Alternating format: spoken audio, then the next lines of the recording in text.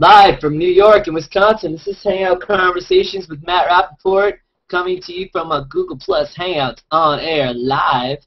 I was informed by last week's or Plus Tainment Show's special guest Lynette Young, hey Lynette, that we are on YouTube Live, which is youtube.com backslash live. Is that you? Oh. That was my own voice. Weird. That's probably my. I probably have a. You're watching. I probably have a YouTube open, and uh, I do. Blame it on Rappaport. There we go. Um, you probably couldn't hear it because it was all it was all my mind. I heard my own voice like Malkovich, Malkovich. Thanks everybody for watching. Awesome to have you here on Hangout Conversations. The picture that you see right now is from our guest tonight, Scott Detweiler. Hopefully I said his name A correctly, A1 correct. And uh, I like to screw up names here on Hangout Conversations. But thanks for joining us. I'm just going to give it just a, just a one minute so I can reshare. If you're watching on YouTube, awesome. If you're watching on Google+, Plus, that is great as well. Uh, tell us in Google Plus if you have any photography skills, if you know any photographers, if you have any questions for me or Scott, especially Scott. Uh, uh, check out his page. He's got some great photos besides the one you see currently. And you can ask him about specific photos. You can ask him his style, about, about Photoshop, about software and check out his page. Check out hangoutconversations.com and YouTube backslash New York Actor M11 is where you'll find it on YouTube, our main show right now. And I am type raping you. And I am sharing. Meryl, Meryl, I wish we had some theme music. We're working on that. I know. I think that's the running joke of Hangout Conversations, is that we're working on the theme music. All right, again, live from New York, live from Wisconsin, it's Hangout Conversations. Hey, everybody. Welcome to Hangout Conversations. Welcome back, number 29, episode number 29, I believe. I can't believe it. Almost three decades worth of episodes, I mean, since September. And here we are on Google+. Plus. I got the, the special curl, the plus curl over here that I did specifically. No, I didn't. It just happened. Uh, and we're on YouTube, and we're on Google+, Plus, and we're all over the, the interwebs.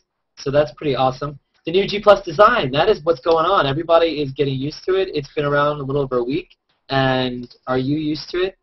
They changed the gray comments to be black comments, which a lot of people appreciated. And I'm very excited about that. So everyone can read their comments, get through their stream. Let me know if you can get through your stream, if you're having issues. I know boxes are bigger and uh, things are moved around. Uh, but let me know, what about Hangout apps? Any cool Hangout apps that we missed? I'm using Comment Tracker right now, and I don't see I'm hitting. I see the the names of the posts, but I don't actually see actual comments. Show comments. Oh, now I see comments. I see Yasmin is watching, and Rudy Bravo. Thank you for swooning and waggles waggles the eyebrows. Appreciate that. So it's working pretty well. Different colors. What apps are out there? Let me know. I know there's a penguin game and there's some there's some backgammon, and some poker. Last week's guest, Glenn Rogers, awesome movie rip. Uh, his conversations plus and his episode's up right now as well as that wacky, fun, and plus Tainment show with me, Jane Ellen, Matt Mikowski, uh, Lynette Young, like I mentioned. Congratulations, Lynette Young. You passed 1 million followers. And uh, Alex Balcazar, because he has a beard, and I had no idea who Alex Balcazar was. I actually thought he was a made-up man, but he is real. There's a lot of madness, so check that out on youtube.com backslash hangout conversations. But tonight's guest, I met at a hangout. He was showing his work, like you saw before, like you, you can see his really cool picture millions of colors. He loves he loves colors. He loves hair. He loves women, people, and uh, it was amazing to see his work. He's not only a Photoshop specialist living in Wisconsin, but he owns his own software development company as well. He's an all-around nice guy, and not just because his profile told me that. He is the conceptual portrait photographer here on Google+. He's Mr. Scott Detweiler. Welcome to Conversations with Matt Rappaport. Scott Detweiler, everybody. There he is. There he is. Oh, no, that's a woman. Oh, there he is. Wait. Oh, he's black. No, he's white. it should be working. Oh, my God. You're darked out. Uh, we'll figure it. We'll figure it out here. Yeah, that's the magic. Scott is actually a magician, but he's he's a he's not just a magician with his art. He's a magician with what he does. Oh, there he is. Hey, Scott Detweiler with the lower thirds. How are you? I'm Peachy.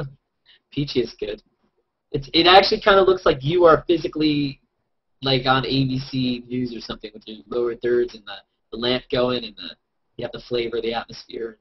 Yeah, this is just a big painting back here. It's completely fake. You made that up. You used your photography and you got it going. You Yeah. Photoshop. What, what what was the most photoshopped? Was it the lamp? Was it the brightness on the lamp or Oh no, that was easy. It was the plant. Plant took me forever. plants? All right, that makes sense. So how the heck are you? Welcome to the show. Uh, wow, I met you. Uh, I believe Tim Clary was in the hangout that I met you in. You were showing, and maybe Cliff Roth, and you were showing some of your pictures. hmm Could have been that. Was it the soda can hangout? Do you remember that or Yeah. Yep. Digital painting. Uh, digital painting? you know, digital. Uh, uh, Daniel Ibanez has a uh, digital painting class every Tuesday night on Google Plus Live, and we chit chat and show different stuff and uh, learn a lot. Actually, I think digital painting is a huge plus to improving my photography, and photographers in general should benefit from it. And he does a wonderful class, and uh, I, I think that's kind of where we met, running around there. Yeah, I just jumped in. I was I saw it going on, and uh, I looked at your work. And the, the first one that I really noticed was the one with the motorcycle and the, and the skyline in the background. And I noticed that you had a thing for women, so that was kind of cool. Who doesn't? And even women love. Even women say women's bodies are better than men's. So, but uh, cool. So you basically have been on Google Plus and going right after putting your photography out there, putting yourself out there, and how has your experience so far been on this platform? You've been here since pretty much the summer, or Yeah, I was in beta, early beta. Uh, but I didn't really use it that much. You know, just that's the excuse that everybody says. You know, I'm on it, but I don't use it. Uh, in uh, I just I think it was in October, um, August or October time frame, and it started to kind of pick it back up again, and and it's actually become my my platform of choice now. My my Facebook fan base is uh, kind of ignored right now because I'll Ah. post a link to a Google Plus article on my Facebook and say if you want to read about it or see it, it's it's here. Um, you know that the the unfriendly compression that Facebook does to photos is just uh, not not acceptable to you know photographers to look at that and see what it crushes you know the the life out of your photo. Where it's meant for cell phone photos and, and that's fine. Um, but Google Plus is paying attention more to the the depth and, and you know they're sensitive to the compression algorithms they use for the photos that I posted anyway. I know don't get severely messed up or color altered. I like to do on Facebook. I love it. It's become uh, my my home away from home. So Flickr's kind of uh, always been there, but uh, I've kind of been ignoring that as well. In truth. cool. Yeah, I was gonna get into all the different websites and how they are for photography and stuff like that. We can we can start now if you want. If you want to talk about that now, I was but but I was gonna talk more about you and your own life first before we get into the whole before we dissect Pinterest and, and Flickr and Tumblr and, and, and every single place you could put your same picture a million times. Uh, what when did you so you discovered Hangouts uh, when you first got here or when you came back or like what how did you get into Hangouts and start showing your work? Like, what made you get in, into Well, it?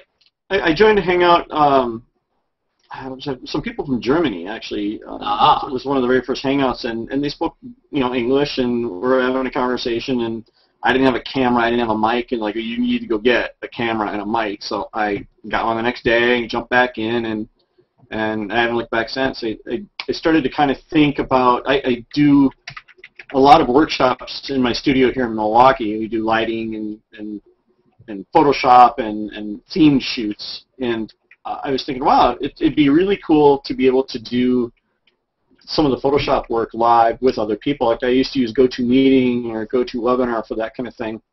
And uh, it was fine, but you, know, you have to advertise it, you have to market it, you have to get people out there, and then maybe they show up, maybe they don't show up.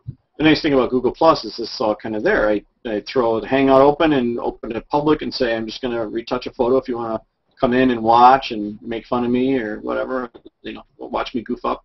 Come on in, Uh-huh. and and people would come in, and you know, I I was all for you know, re, you know, critique the photos I'm working on. What do you like? What do you don't like? What do you think of this? What do you think of that?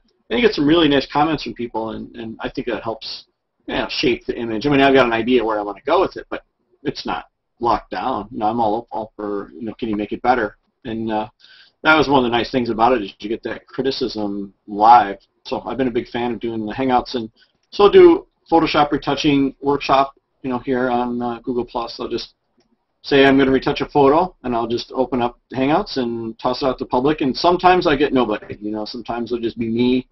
I'll retouch the photo for an hour, hour and a half, and then I'll close it down, and nobody came in, and then I'll get Mhm. random folks who come in and just kind of stare at the screen and make yeah, it's, it's a funny place, Google Plus, especially if you go public, because if you go public, you know, there's more people that are not in America and Canada than there are that than there are that are. So there's like you never know who you're gonna get, and it's interesting.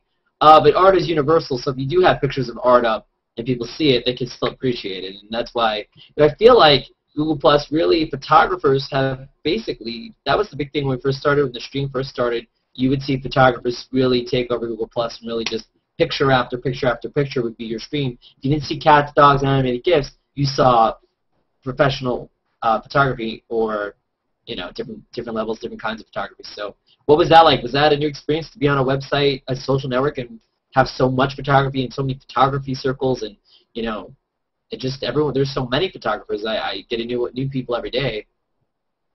It was certainly a pleasant surprise and it, it, some some parts that I miss like I'm not a fan of the animated gifs for most part so. Right right right.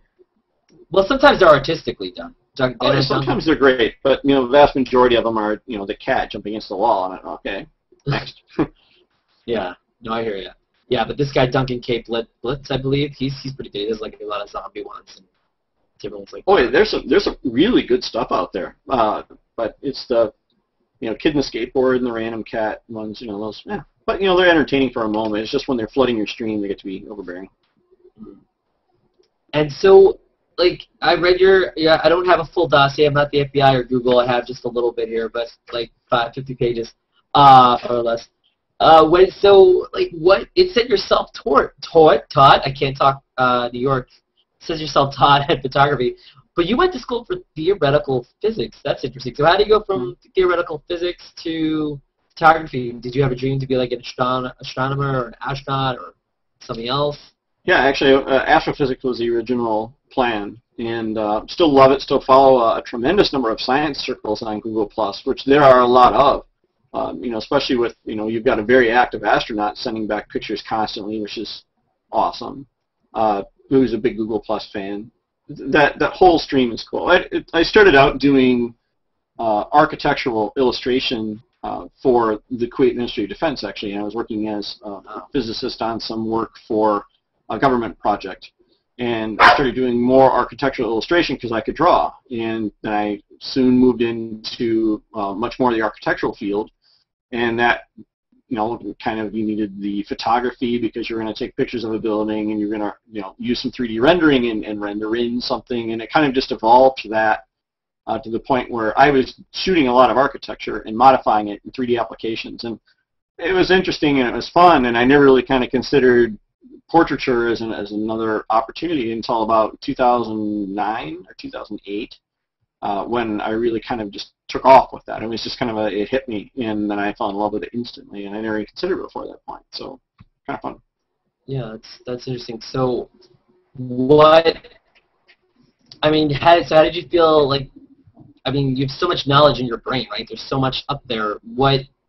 I mean, what? So does it affect like all the physics and stuff? Does that affect like photog- your photography, like angles and like measurement? Are you into like numbers with your photography? Because physics is very heavily mathematical and is that do you connect it to when you're taking pictures or your brain or yeah i mean like like a lot of people look at you know they don't know about depth of field and they don't really think about say front focus and back focus and there's a difference depending on the millimeter of the lens that you're using whether you're using a wide angle or telephoto lens. And then you've got circle of confusion app, there's a thing called the circle of confusion which is the piece of math that is used to configure or to to explain the the bokeh or the the, the light modification you're going to get on the sensor based on the depth of field. So there's all you mentioned fun math. circle of confusion because I, I was gonna I should add you to my circle of confusion. I have that.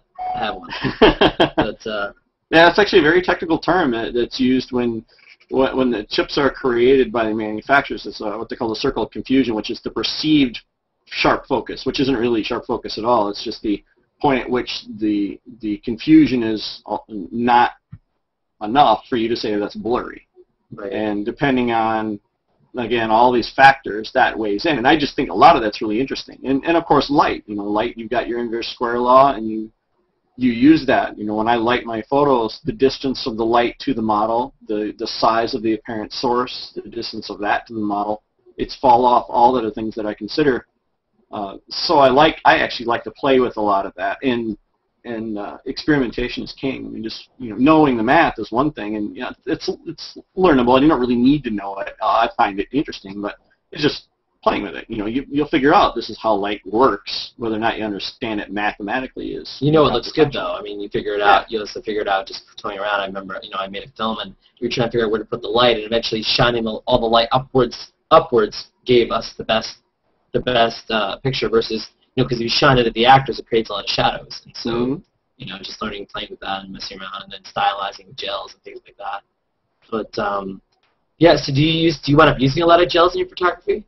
at all, or do you?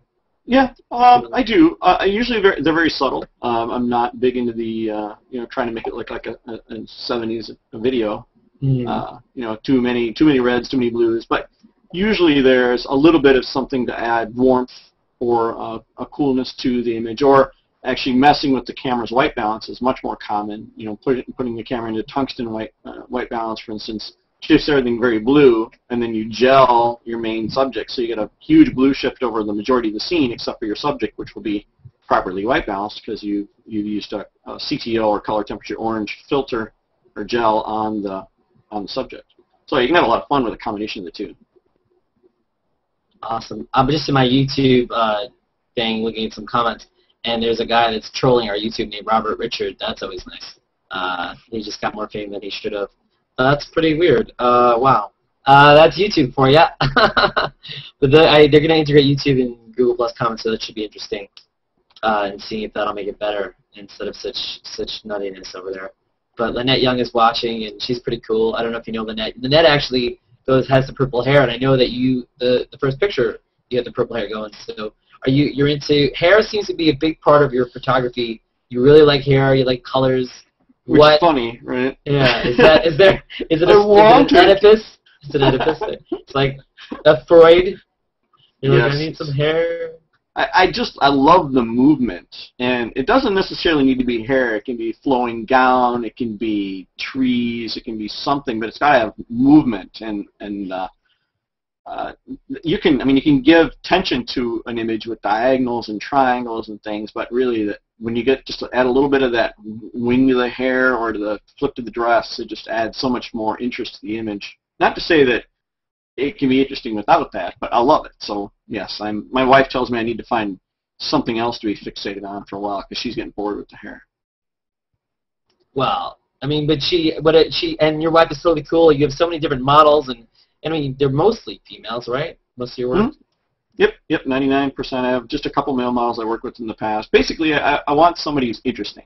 Mm-hmm. You know, like even just like a, a pretty woman who's just a pretty woman who says, well, you know, will you take my boudoir pictures or something like that? You know, truthfully, just not interesting. It's it's yeah, yeah it's pretty woman and everything, but um, once you once you're kind of past that, you want I want something artistically interesting. So I'd rather shoot somebody who's interesting than I would shoot someone who's beautiful. And yeah, most of them tend to be female, but I think that's just because most of the models that I know, or most of the people in this area that are models, are female. So it's, right. um, it's yeah. working out. And I know they always say, you know, that your eyes are the windows to the soul. So that's like the big, that's a, that's a big thing, I guess. I mean, how people look at you and and pose and what's sincere and what's faked. You know, trying to get that sincerity right. Well, yeah, absolutely. I mean, finding a uh, finding a pretty model is is not hard. You, find them all the time, but finding an expressive model is difficult. And the the models that can express themselves, show emotion, uh, know how to pose themselves is, I mean, that's helpful. But an expressive model poses themselves naturally. So it's to find that muse, that perfect model who's fun to shoot, interesting, and expressive is wow. And I, there's been a few of them that I've met over time, and not too many live in this area. There's a couple, but uh, from all around the country. I've met people from California, Maryland. So do you travel to do shoots then, or? Or do you fly no, actually, they, they fly in here, and we, we do big group events. So we'll do a whole weekend of shooting uh, different concepts. We'll get a bunch of cars, we'll get motorcycles, we'll get a haunted house. We'll just take the place over and invite a bunch of photographers and models and makeup artists and hairstylists and wardrobe people and just shoot. And sometimes I'll, I'll pre-plan some of the ideas, and uh, th- those are really fun, especially if they turn out the way you want them to turn out. Uh, but oftentimes it's just thinking on your feet. There's a model, she's wearing this outfit, you've got this car, I've got an idea, and then you you light it, you shoot it, and then you know you hope it works out. Yeah, it's interesting how that works, right? You know, like uh, you plan something, and then you get to set, you get to the location, and you get more ideas, and then there are factors, and there's weather, and there's clothing, and it, sometimes it works out perfectly, sometimes different. Mhm. You know, especially with a photo shoot, you have so many. I mean, how many photos would you say you normally take on a shoot? Is it how many how many rolls of film or? Uh, I'm actually not uh, a huge uh, shutterbug, and you know, uh, of a specific concept, I may take eight to twenty photos. Um, not a huge number. I'm very specific about my posing, so it actually takes me a long time to get the model what I'm looking for. I'll take a picture. Um, obviously, I do my light tests, and I really don't count those because I'm never going to use them. Uh, once the once the light's perfect, then I'm posing the model, taking a picture, adjusting the model, taking a picture, and then exploring the pose. Okay, what are the other options and what are the other angles, and, and kind of working that. I didn't used to do that, and, and that was uh, a very, you know, it was a big mistake. It was a learning curve there. You, just because you've got the model in a gray sweep doesn't mean you can't shoot the model from the back or from the side. You got to rotate the model, and a lot of people don't think that. They well, I can't shoot her from the back. She's on a sweep, and how do you walk around her? Well, you don't. You spin her. Oh Right. yeah, it makes perfect sense, but you don't really. It doesn't occur to you as an amateur, you know, newer photographer in this. So it, it took me a while. It's kind of like when you're shooting a model on a white on a white background and you're using the rule of thirds to kind of get the composition right is silly because at the end of the day, the entire white space that's two thirds or a third of this. It, Wait, did you say white space? What white space?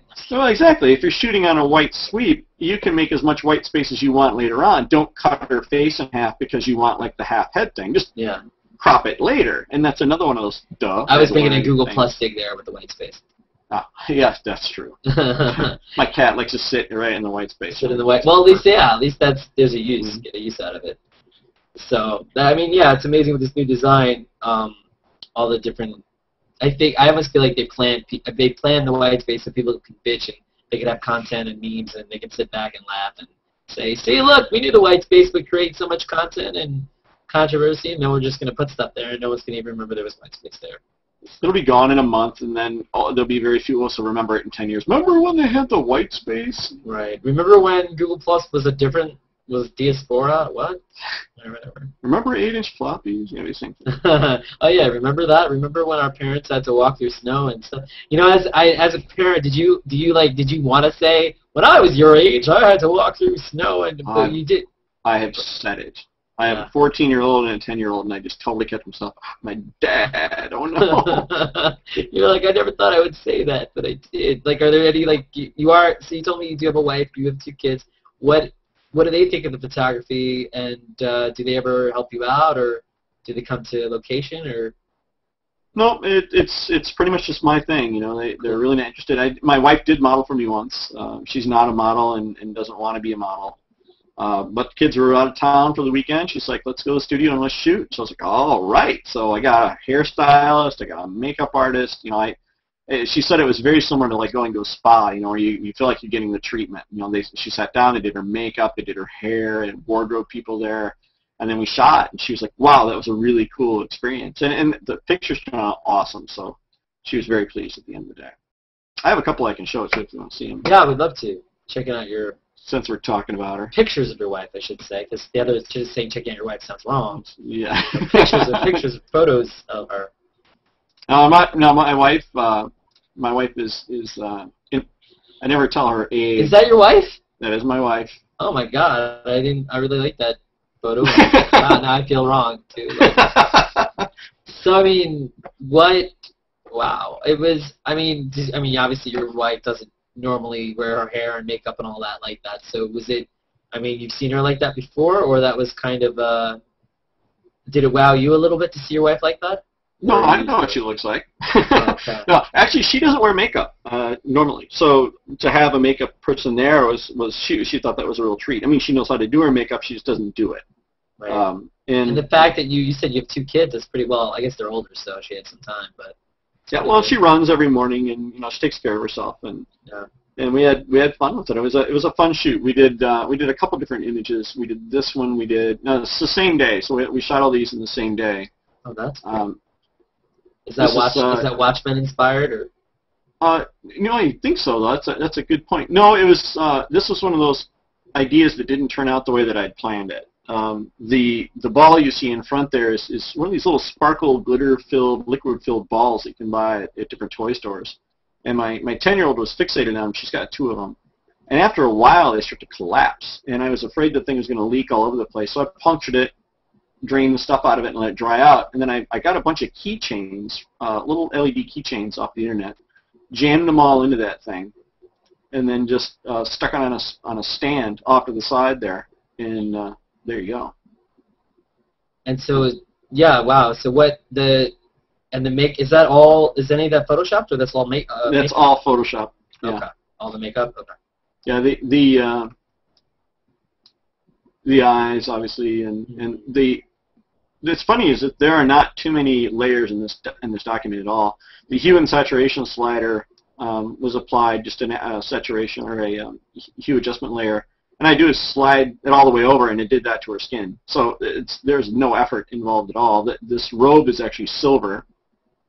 Uh, Yeah. So they're telling me they're telling me on YouTube that the photos are cropped at the top and the bottom. Was that just when you moved in? I don't know. I I don't have the YouTube.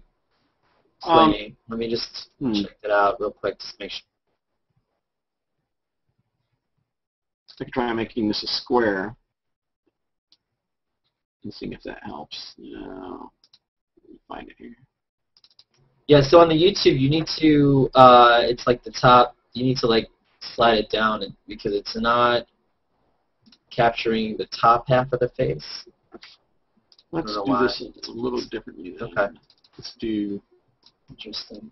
Yeah, that's an interesting thing.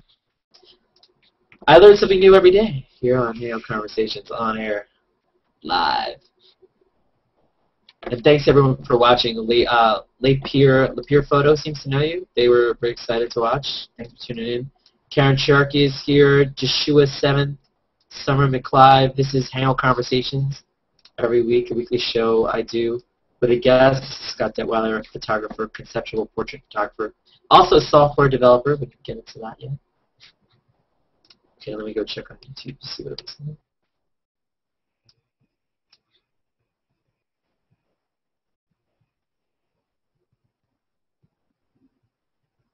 Yeah, you can see the whole thing like that, like that. Okay. Yeah, that, that that seems to be much better. yeah, that's much better. Okay. So, but yeah, if you need to zoom in, I would say if you need to zoom in, just just take the whole photo and drag it towards the bottom of the screen because it seems to be going for the top half. So, so you took those pictures, and how long would you say it takes you to Photoshop something like that? It depends on the image. Uh, this one's probably 15 minutes. Uh, most of it was uh, the modification of the ball to make it look like a little sun, uh, to add the bokeh around, um, make it more interesting. Just add that interest to the uh, to the ball than anything else. The eyes were pretty fast, and then again the skin and the robe, where everything were, were modified very quickly uh, using the hue and saturation adjustment layer. Just just slid it over, and it was just done good enough. You would never do that to skin, but you know, to make it look to make it look like an alien, that was simple. And It's then throw throw background texture, and it was done. it's kind of cool because I did have Paul Roustan as a body painter, and I've seen a lot of his work, and it, it is reminiscent of even though she's not body painted, there is a body, there is a feel like she could have been body painted, right? Maybe Yeah. on some of them. Yeah, it does have a bit of a splotchiness to it, and I think that's because the tolerance slider uh, for the hue and saturation adjustment layer was modified, so it didn't do you know even coverage. I wanted it to look a little more organic. Yeah, which is cool. Which is a cool thing about it. I can't believe that's minimal layers said what a their na- their name is what a crock, but they're just the YouTube. you gotta love the YouTube names. Uh, hey, what's up? What a crock uh, with a zero. Uh, so yeah, he could. He's yeah, it's really great work, and I noticed right away. Uh, there's just so much to look at in the photo, and you know, just appreciating the photo for what it is, but also the idea that it's a photo, the photo itself, and then it's been chopped, and the effects that you do, and you know, you like to use props, you like to accentuate the hair, and uh, cool. So if you want to go through them, we can go through them and, and talk about them. We can also talk about life as well as as we go through it. Uh, what are some? That's really cool. So what are some other photographers that inspired you along the way? Um, that really you were just really into, and and or or uh, other artists that inspired you? Uh, well, there's uh, there's a guy here in Chicago uh, named uh, Michael Rosen who uh, is a friend of mine, and we've gotten to shoot a couple different times, and uh, he was a good inspiration uh, for me because of, of kind of the artistic flair that his stuff has. He's not on Google Plus, What? but uh, yeah, he's not. But uh, he's uh, he, was a, he was a great inspiration. Gave me a lot of great ideas. And then there's a lot of people on on DeviantArt that I had known. I've been a DeviantArt member for almost a decade, and and although I don't really use it too much anymore, but there are quite a few people in there who are just dripping with talent, and you get motivated by some amazing image that you would see, and and that's that was really kind of the the impetus for some of these things. It's like, wow, you know, you can do so much uh, given the time. This is this is one I did for Halloween. I, I did a self portrait uh, for a se- selfie Sunday uh, run by uh, by Levi. So I, I try to come up with something interesting. That is pretty funny. So what? So the last one that we saw before the the leopard spots. What? Mhm. So basically, tell us a little bit about.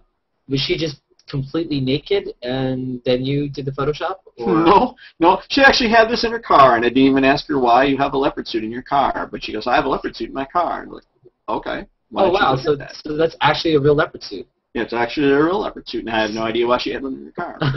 well, I think of a few reasons. and I like this picture for a, for a lot of reasons. It it it it breaks a lot of rules. You know, the fact her arm is covering her mouth. You know, a lot of people are like, well, you know, that was a mistake. You should have moved it. And I'm like, no, I really like. No, it's I think it's suggestive. Yeah, and you you know exactly, and you can tell that she's smiling. and you get to look at her eyes and know instantaneously she's she's smiling. And you can see the dimples too. Yeah, and I just really like the expression on the face, the hair. You There's a lot nice diagonal there. What I like about it is the fact that knowing your work is photoshopped. I looked at it and thought, oh, he photoshopped the, the leopard. And you're telling us, yeah, like especially like, I mean, not we all like butts, but obviously her butt stands out in this picture, Mhm. literally. So that's the first thing. It's kind of, and in fact, if your eyes hit the butt first before you see that, that it's a person, you almost don't even think it's a person at first. Does that make sense? If you see the butt first, and then Sure. your, your eyes come down. So it was interesting. And then I was like, and it could even look like an actual. It actually, if you look at her butt and her leg, it looks like that could be like an elephant, doesn't it? If the one sheep and the and the, the whole- like the trunk and the I won't tell her you said that. no whatever. Like I meant an elephant's trunk. Yeah, don't tell her. She's beautiful. I, I actually when I when I make my images, one of the things I try and do is is is you flip the image horizontally, which is a, an old graphic arts trick to kind of refresh the eye. You know, if you've been working on an image for a while, you need to flip it so that your eye sees things you wouldn't have seen the other way. But I look at, I kind of study how my eye looks at a picture. If I glance away and then look at it, where where do I go first? And it always goes to the area of highest contrast, of sharpness, you know, things like this you learn in in uh, probably learn in school, is to say, but I didn't learn it, so I'm just learning it, you know, through reading and School of Hard Knocks.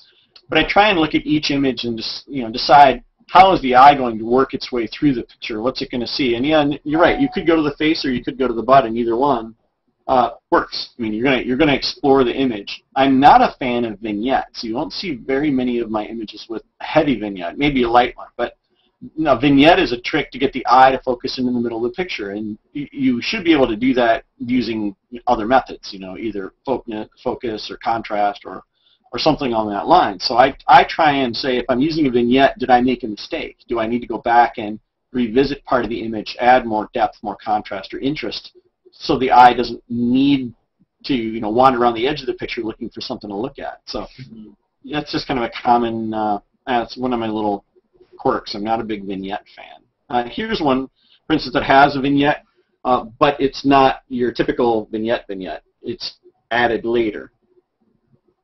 And uh, this is uh, this is many hours Photoshop. The wings are actually painted uh, into the image using uh, Corel Painter, which is another graphic application. You can probably do it in Photoshop, but you don't get the blending capabilities that you do in Painter.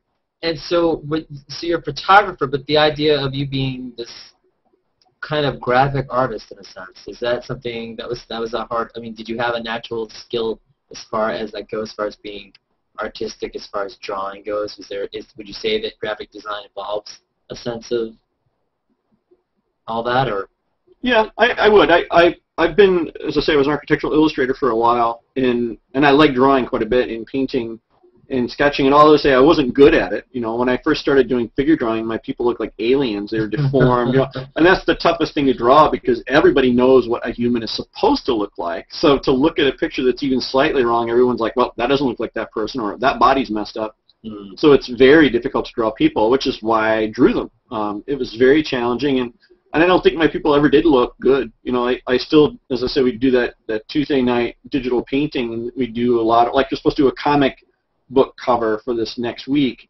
Awesome. Um, and you know, mine's I'm going to use a photo as, as my point of departure, and I and I said that I'm not going to cheat. You know, I'm going to use the photo. I'm going to paint over the photo, but I'm not going to paint over the photo to make it look like a painting. I'm going to make it look like a photo with paint added to it because that's a completely different kind of thing to me. Um, but in this case, I just had to paint some wings, and you know, who knows what demon wings look like. So right. it's very That's easy to draw them in and not have somebody go, well, that's not the spines on those demon rings. so you do whatever you want to do. So it was pretty Everyone's easy to do. Yeah. And I'm a big, That's cool. uh, I mean- big Lovecraft, uh, H.P. Lovecraft fan. So in the back, I tried to use some some of that symbology. Um, I like the whole occult feeling. It's a lot of my stuff is darker, and I don't, you know, I doesn't say I haven't shot as much of it as I want to, but you'll see. I, I'll come around Halloween. I'm a madman. There's so much I want to do and so much I want to shoot. I just love I think, the dark. I think I really like your stuff because as a filmmaker, actor, and I'm cinematic, and your stuff is really cinematic, theatrical in that sense. And you're, I mean, this reminds me of it could remind me of Game of Thrones. It could remind me of Constantine. It reminds me of so many different elements. You got the dragon tattoo. So look at that. It's like bondage. Yeah, this is a shibari, uh, Japanese rope bondage. Uh, this is a, what they call turtleback. Uh, Now, how do you decide to do something like this? Like, what what inspired you to do Well, bondage? and you know, I have no idea what inspired me, but this image was actually one I had sketched out. I knew exactly the pose I wanted. I knew exactly the rope pattern I wanted, how I wanted to light it. I knew everything about this image. I just had to find a model with long enough hair to make it a PG-13 image. You know, I had to go over the breasts long enough because she's naked. You know, you can't put a bra on that and make it look weird. You know, it, it, it wouldn't look right. So I had to find a, a, a model with red hair that was long enough and was willing to do this. And luckily, I know one. So that was really cool. So we took only about eight pictures, eight or nine pictures. And I look back and I regret that now. I wish I would have taken time to explore this. But this was shot in, say, 2009. So I'd only been doing photography for about a year, a year and a half at that point. So I didn't know, you know, some of those things that you learn about exploring the pose, and, and I, I didn't get it. And you know, no one taught me, you know, what you should or shouldn't do. I just kind of say that sucks. Let's try something different. but I shot like every other weekend. I mean, I, and I'd shoot the entire day with like 10 or 15 different models using. Uh, what luckily was a studio full of lights, so I had all this cool equipment that I could play with, and I learned so much. I probably learned six months worth of this stuff every time I shot. I mean, you you know, everything from don't do that because you're the light will fall on the model to you know. you know, like this this way. You know, th- this is not in a black backdrop, for instance. This is shot in the middle of a floor, and there's a huge warehouse behind her with other photographers shooting with other models. Uh, so this was shot like um, I say it's up F16. It was uh, had to be bright enough to to obviously obfuscate everything in the background and leave her, you know, the only exposed object. Was so you said you said other photographers were shooting in this warehouse at the same time you were. yes.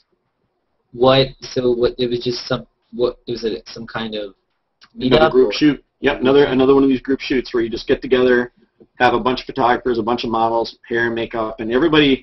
The goal is to everybody you know walk out with a whole portfolio full of stuff at the end of the day. Know, if a model can shoot with eight or ten photographers who've got different styles, you know, they can they can get a, a great you know bunch of work for their portfolio without you know having to wander around and go to all these different events and so on. So the photographer, go ahead. So uh, if this model, like this bondage that she's in, is that this, was she in that bondage thing for all the photographers, or No, just for me. This Oh, was my concept. Okay. Yeah, I'm kind of greedy that way. If I if I take the time to come up with an idea and I take the time to light it, I'm the only one who wants that picture. Because if somebody else has the exact same picture, why would I even bother? No, I agree. That's why I was wondering. Yeah. You said a bunch of models were in the warehouse. Do they just they just change out of clothes and stuff like that as people? Yeah, they're doing do? other stuff. They're on other backgrounds. They're on chairs. They're in front of brick walls, and yeah, it's a, a whole room full of people. This this image. Uh, so I, I should plug my book. I have a book that just came out on Sure. the 17th, and uh, what I did is I took a lot of my my favorite images and I reverse engineered them. So I show the lighting diagrams, the EXIF information, the Photoshop layer diagram, how I posed the model, how I why I lit it the way that I lit it, and then kind of walk through the whole post-production process step by step. This is one of the images in the book um, because I really like this image. And that when I took it, the hair was not balanced. I didn't have enough hair on this side, so I had to borrow hair from another shot. Uh, I added some some interest in the ground here. You know, probably didn't need, need be added, uh, but to me, I wanted it to tell the whole story. So I needed some sort of foreground interest in here, and uh, you know, some correction to the skin, the light. The the rope is cutting into her in some areas, um, so I had to fix that. How it was so it was really tight. Did she did she sort of hurt herself doing this, or? No, she's actually used to it. So. Whoa, you professional.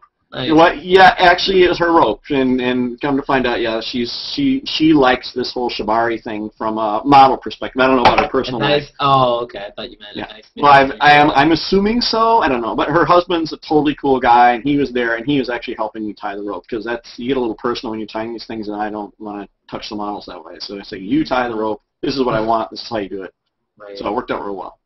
You want to be, yeah. You don't even want her to really even. So when you shoot, do you want them to not even know you're there, or do you ever have to engage them so to get more what you want? Is it does it work both ways, or? Uh, I'm I'm fine engaging the model. You know, I I'm I'm fine talking to them and and you know uh, doing some slight adjustments and stuff like that. But I'm not one to you know um, I'll I'll like move hair and things like that. But you always ask the model first. You just avoid that whole complexity there. And and you know. it's an interesting subject because there's guys with cameras and then there's photographers who, you know, I'm married, I'm happily married, and you just learn after a while, you know, you, just shut that part of your brain off. You're there to create art. You're not there to get a date. And right. once you learn how to do that, uh, it becomes you're not as timid in front of the model. For instance, I am not at all. I'm, I'm introverted, and I'm not at all introverted in front of the models. You know, because I'm not looking for a date anymore or a mate. I, I'm just there to shoot art. And right, but you know, you're, not, you're still a human being, so occasionally well, turns you on. Yeah, absolutely, absolutely. But you, you know, you just, as I say, you learn to kind of ignore that side of your brain, and you're there to make the art. It's not to say that every so often you catch somebody who's just like, wow, you know, this still happens, but you know, it's it's not the majority of the time but I would say so because as a director, it's almost like do you do you do more posing or do you do more like all right, this is your environment. I want you to just do natural things and I'll take pictures of you. Is it? It's actually a combination of both, and it's interesting that you brought that up because that's one of the things I teach in, in one of my posing workshops. Is I'm like, you need to become as, as corny as it sounds, you almost need to become the method actor. You need to become the character. You know, if you're this person, what do you see? What are you experiencing? How would you pose? Now, that isn't the case for all of these. Like for the last shot, the Shibari shot, yes, it's very much putting that character in, into position.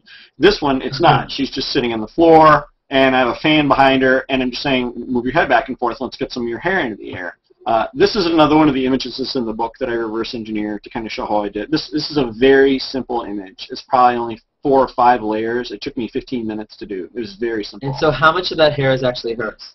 100% of it is hers. Okay. How much of it is from this shot? Uh, yeah, that's, that's probably that's that is that's probably three shots worth of hair. Three that's shots. not the biggest one. Yeah, there there are many. There are some of these that are much. Uh, and this is the cover of your book. This this, that's, this is the cover of my book. Yes. What is the name of your like book? This. Do you have a conceptual uh, conceptual portraiture. Okay. Volume one. volume one, because volume twenty will be out. No. Yes, we That's hope cool. that if it sells well, then I'll write another one. If it doesn't, well, I'll, you know, just do. Part, just call it part two. What yeah. this picture reminds, but what the first thing that I think of is Madonna when I see this picture. Is that oh, interesting or yeah?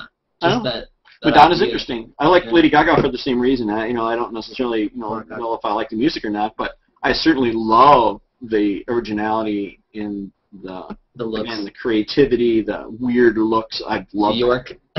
oh, Bjork's awesome. Yeah, same thing.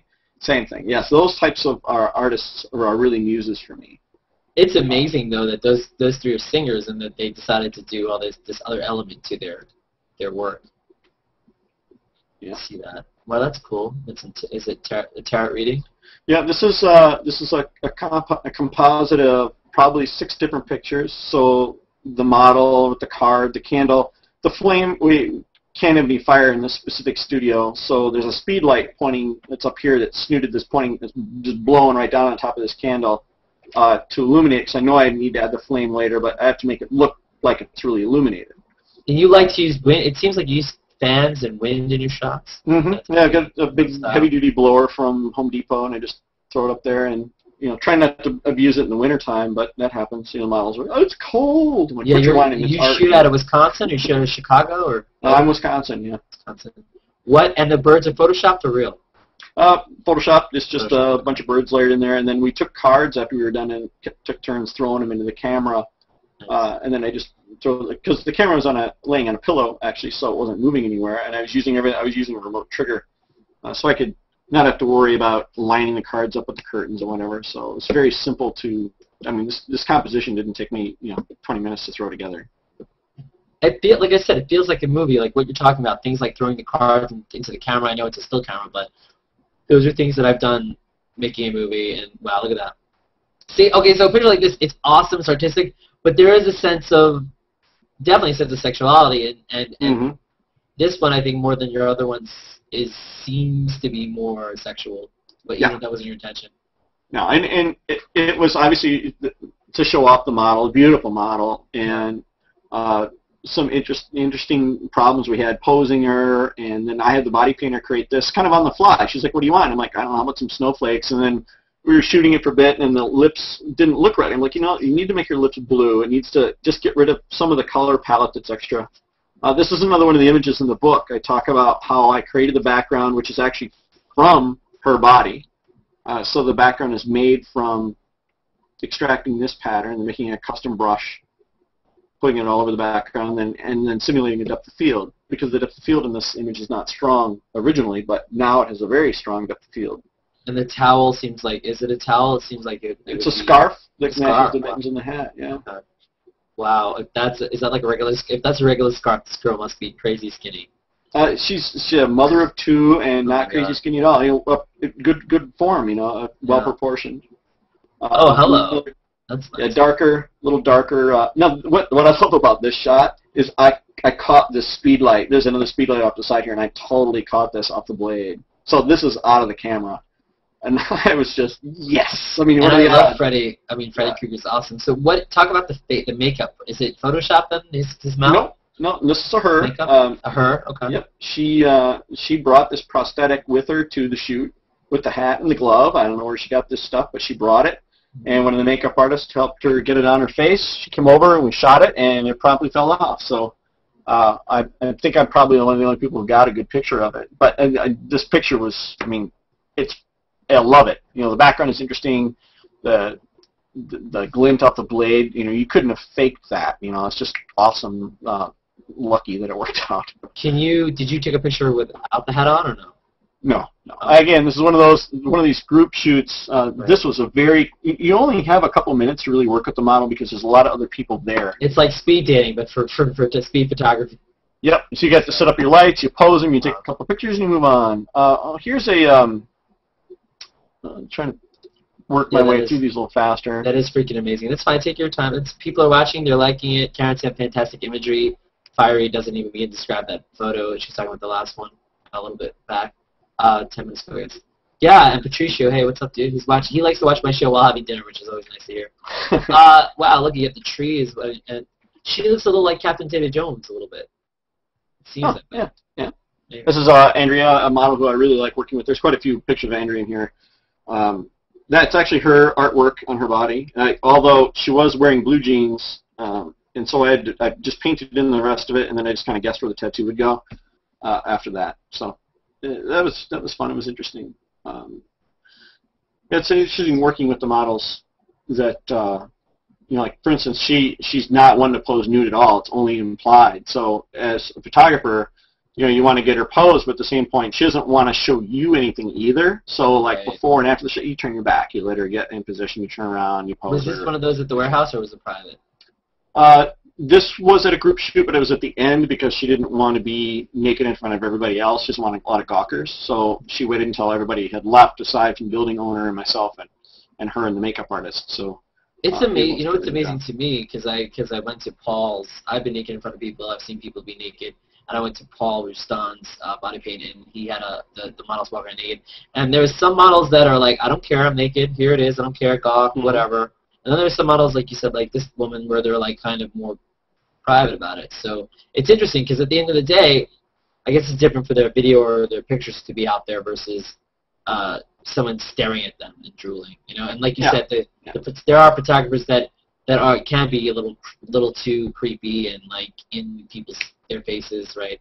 hmm Yeah, you don't want to be one of those people. You, you're there to make art. You're not there to pick up a date. You know, if you're going to date the model, do it after the shoot. That's that's what I tell people. I guess it works occasionally the other way, where the model's into the into the photographer. Right? Yeah, yeah. There there are some models who are, are there to pick up the photographers or other models. You know, that's that happens a lot. But you know, everybody's human, so you just gotta figure what your priorities are.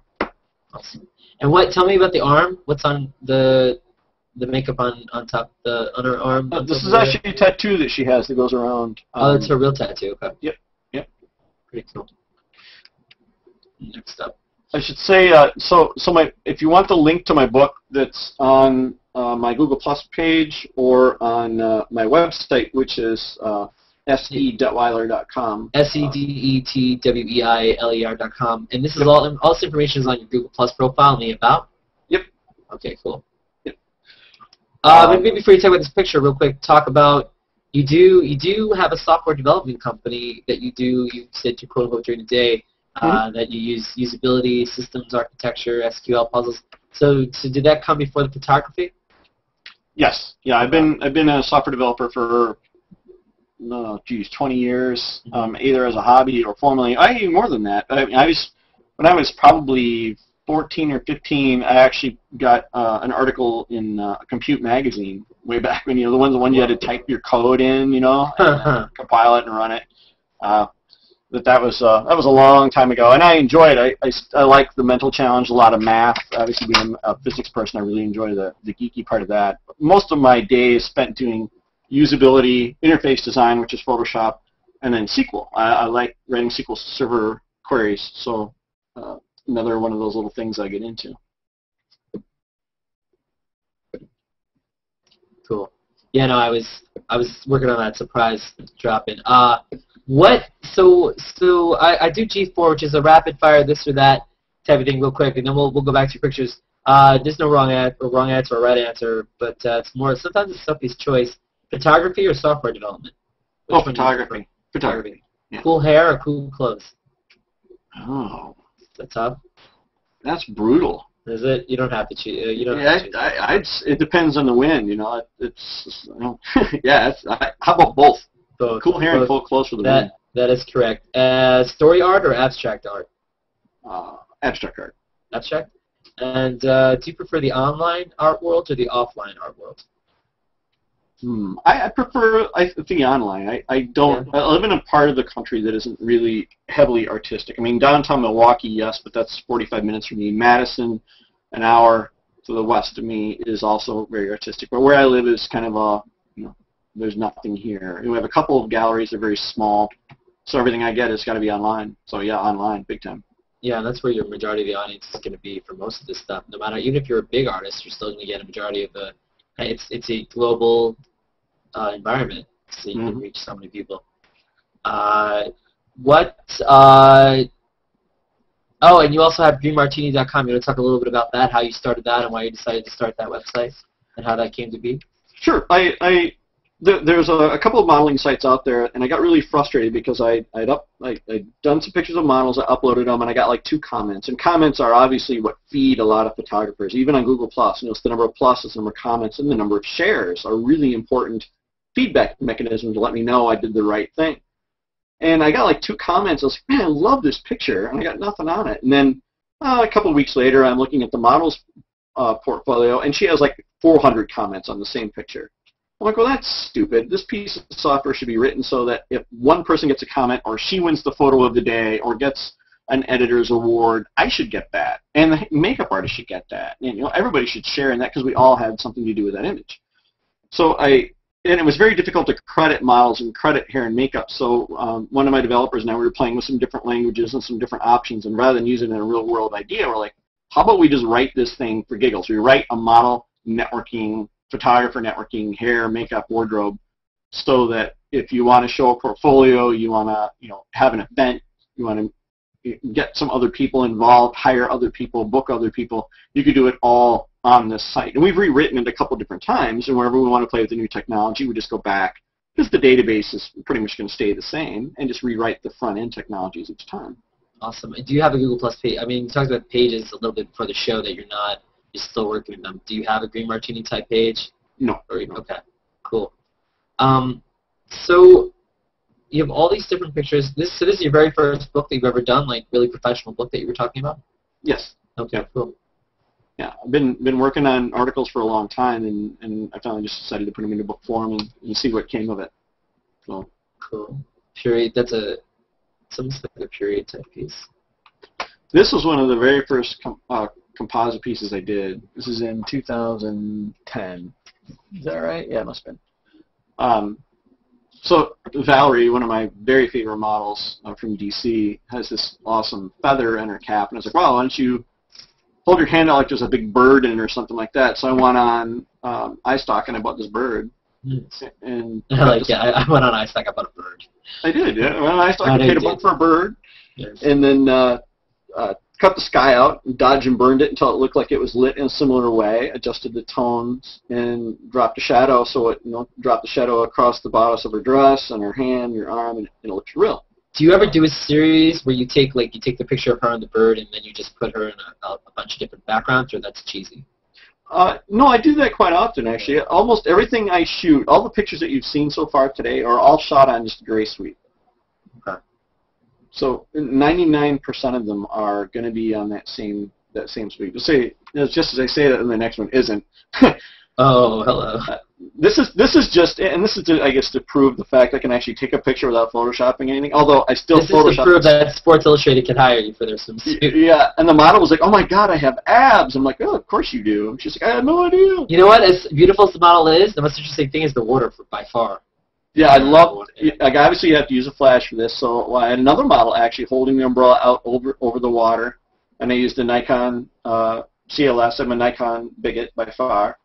Uh, took this shot. Uh, obviously, it has to be fast enough shutter speed to, um, and I can shoot up to eight thousandth of a second using my D300, so that was no problem. And then I did actually replace the sky. I didn't think the sky was dramatic enough. It was just that blue, getting near dusk, blah, no clouds going on kind of thing, and I wanted a little bit of zing. So I just added a different sky. Cool. Um, So what's your favorite? So out of all, do you have favorites? Any like any pictures that you've showed us that were your absolute favorite? Or I know you really Yeah, like the the book cover. Yeah, I'm, I'm coming. I'm, I'm. So this is what I took. This is again right out of the camera. This is for a Selfie Sunday. Um, just stuck a speed light up into an umbrella. Uh, here's this one you had commented on earlier. Hey, back to the other one that you just found. It really that one really puts you in a in a like a Christopher Nolan. It could, be, it could be DiCaprio. It could be a mobster thing. It's pretty cool. I mean, you can kind of see that the like it, it doubles for umbrella and there's a little bit of the of the photography equipment, but it's kind of a cool effect. yeah, I was very very pleased with how it turned out. It was not the shot I meant to take, by the way, but you know it worked Yeah. out. It never. It's never the shot you want to take or wanted to take. Yeah, this one I really like. This is one of the first shots I saw of yours, and I just like the idea that you did how you put this the the background with the motorcycle and the model. Yeah, this was uh, again playing with a lot of angles, a lot of triangles was the goal. Um, yeah, that's very purposeful. It's it's uh, two lights, so there's a, a, a large beauty dish gridded directly above the model and the bike, and then uh, camera left is a speed light with a blue gel on it to catch some of the to add the blue highlights into the bike here. Uh, which when I added the city in the background, um, just kind of worked that same palette. So the city is the white and the chrome and the blue, and it all kind of marries itself together. Cool. And it's funny because at first I didn't realize the motorcycle was bigger, but the motorcycle really it's depth of field, but it looks like the motorcycle could be bigger than the model, but it's hard to tell because she's sitting right. Uh, yeah, I mean, she is right next to that thing. It is a very big custom bike. Yeah. Yeah. I'm sure the bike is bigger than her, but like seeing her on it, hello. Yeah. This is Andrea again. Uh, love. I, I just met her like maybe two months ago, and we shot, and instantaneously became one of my favorite muses. I mean, wonderful posing and storytelling capabilities. Uh, again, just lighting her in unique ways, trying to make something a little bit, you know, not your typical umbrella or softbox in the front. You know, it's a split light, but lit from the back. So this is uh, on the narrow side. And then I have this steampunk pistol um, sitting on my shelf here. So I took that along for the day. And although, you know, her outfit isn't exactly steampunk, it's close enough. It has a Blade Runner feel. It has a futuristic. Yeah. Uh, you know, and I commented your a lot of your style feels 80s films, 80s cinematic, 80s music, which is cool. Uh, I know 80s probably played a big part of your life, right? Maybe. It was I grew up then. yeah, exactly. So, but uh, yeah, it's pretty cool. It's like a modern twist on it, and uh, I don't know if you saw the movie Drive, which really had like an 80s feel as well.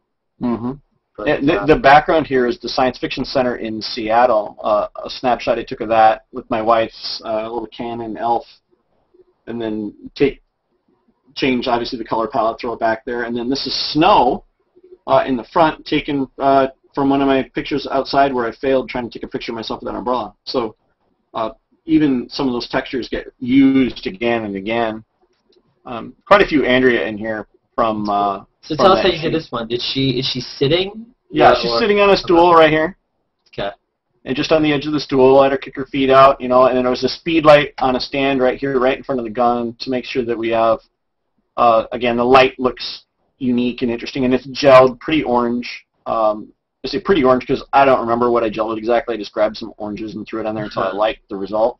Yeah, it's And more then- of a comic book. It Has a comic book feel. Yeah, and I love comic books. Actually, as a as, a, as an idea factory, comic books to me are huge. You know, there's quite a few comics, uh, or comic artists, I should say, that I follow on Google Plus. There's some great circles out there for those, uh, and there's some really good some good stuff going on. In the background is actually a tire. Um, I've used the same tire in quite a few different shots. It's just a tire uh, pattern repeated, and then I just motion blurred it uh, to add some action to it. And this is again snow. I was really playing with the snow because I had it hanging around and it was on my mind. So these Yeah, are I mean- these are all just I can imagine these being. I know you, how you feel about animated GIFs, but I can imagine some of them being pretty awesome.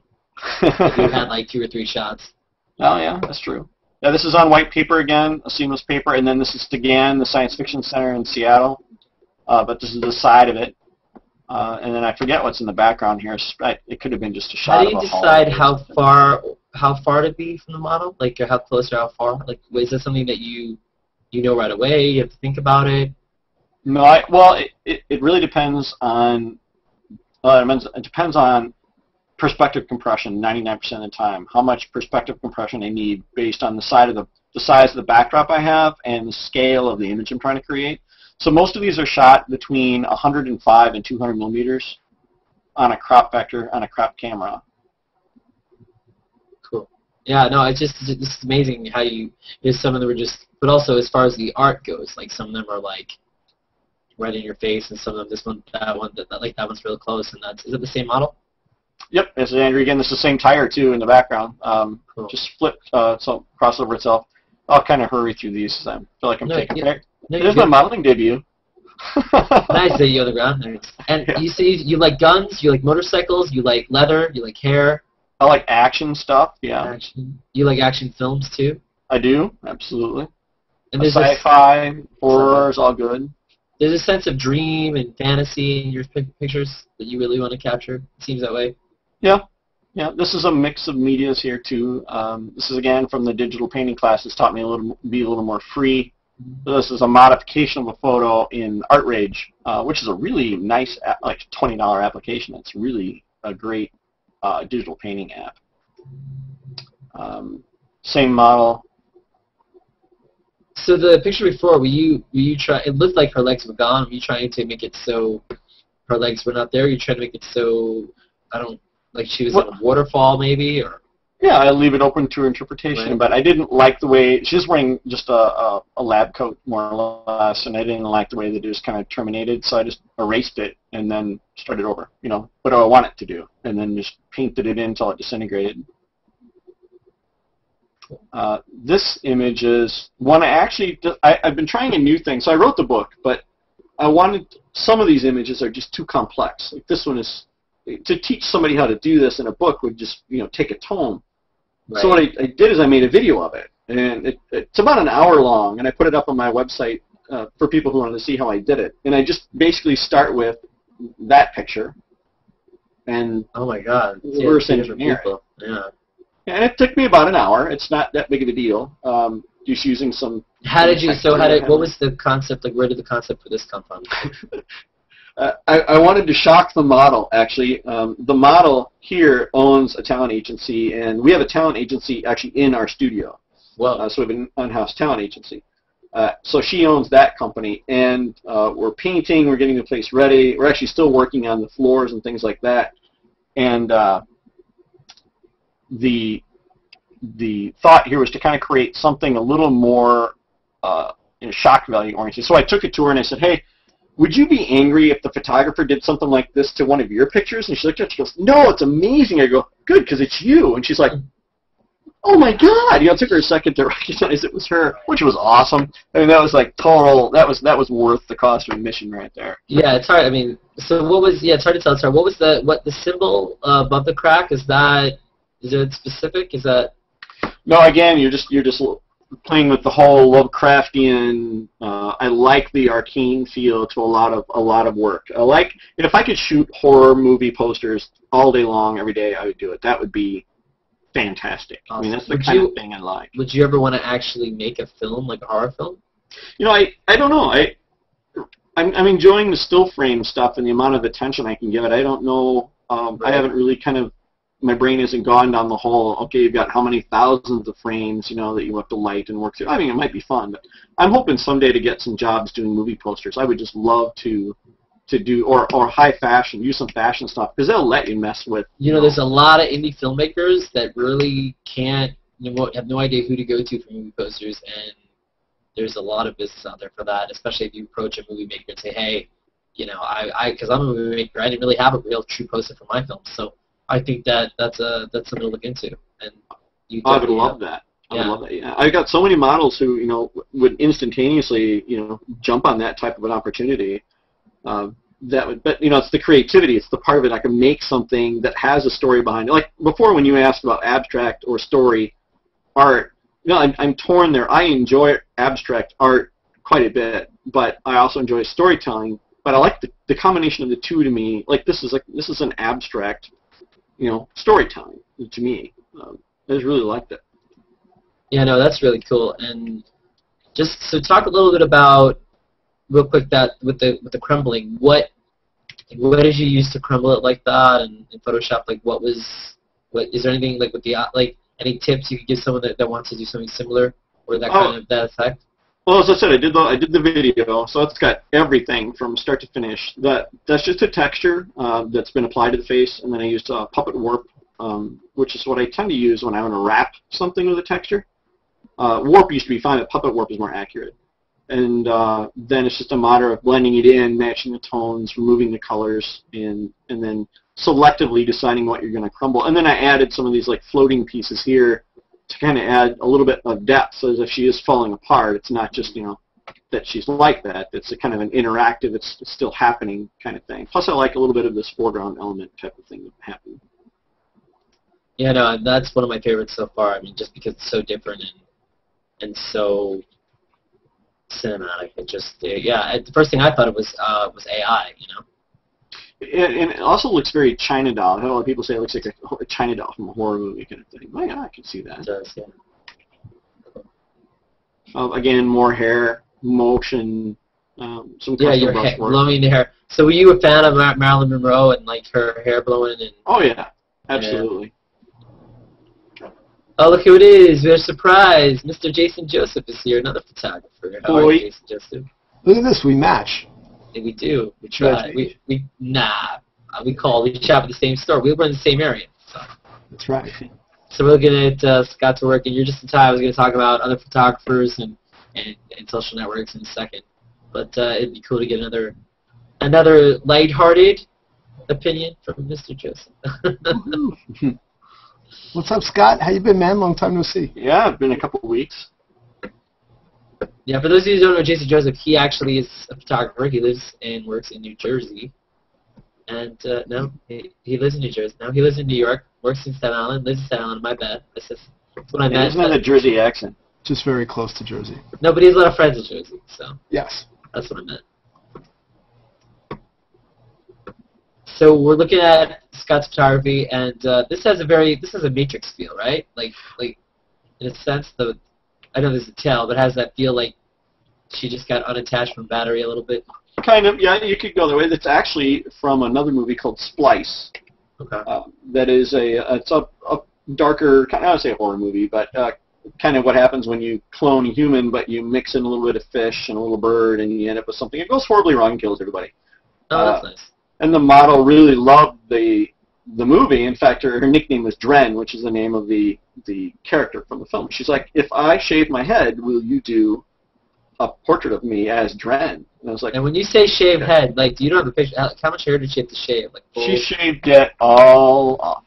Right. razor She had, like, a- down. big, bushy, like long, like lots of hair, right? She had, yeah, I mean, her hair was substantial. Um, although she, you know, obviously, you know, cutting it and playing with it, but yeah, she she shaved it off and I put her on a mini tramp, and we basically just jumped up and down until we got the pose exactly the pose we wanted.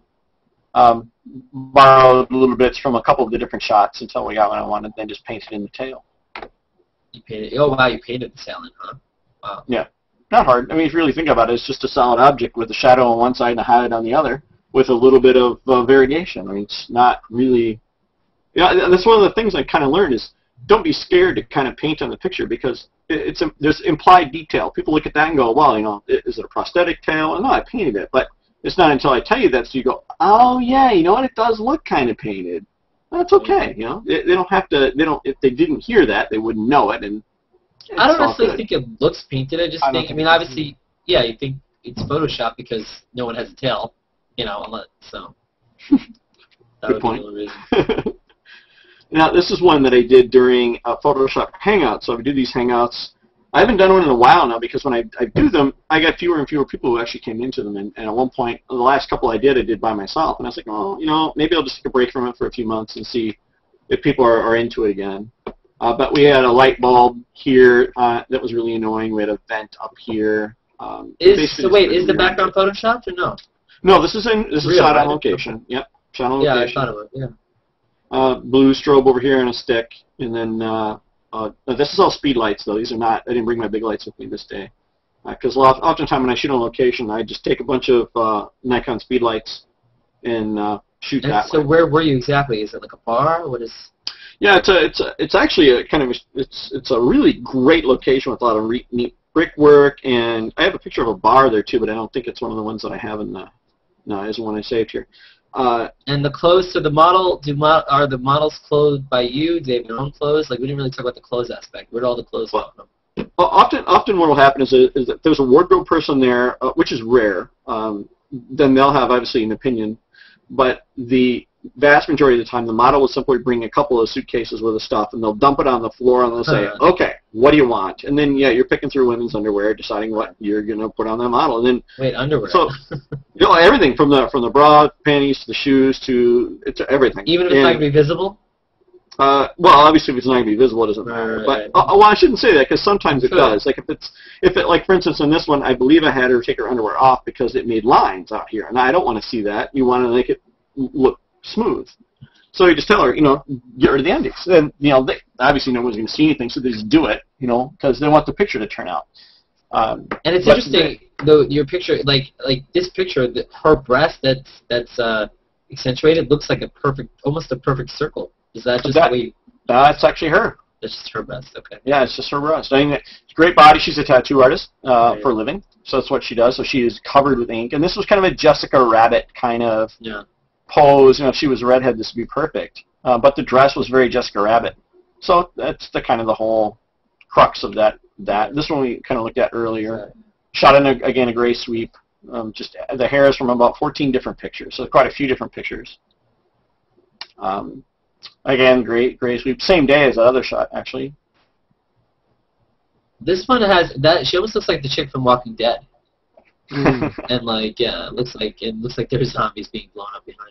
her. I love the light on her face in that shot. Yeah, I, you know, it's it's one of those it's one of those rule breakers. It's it's not it's not lit. You know, what kind of lighting is that? Is it a Rembrandt? Is it well, yeah, it, it isn't really anything. It's just there. It, it's dramatic.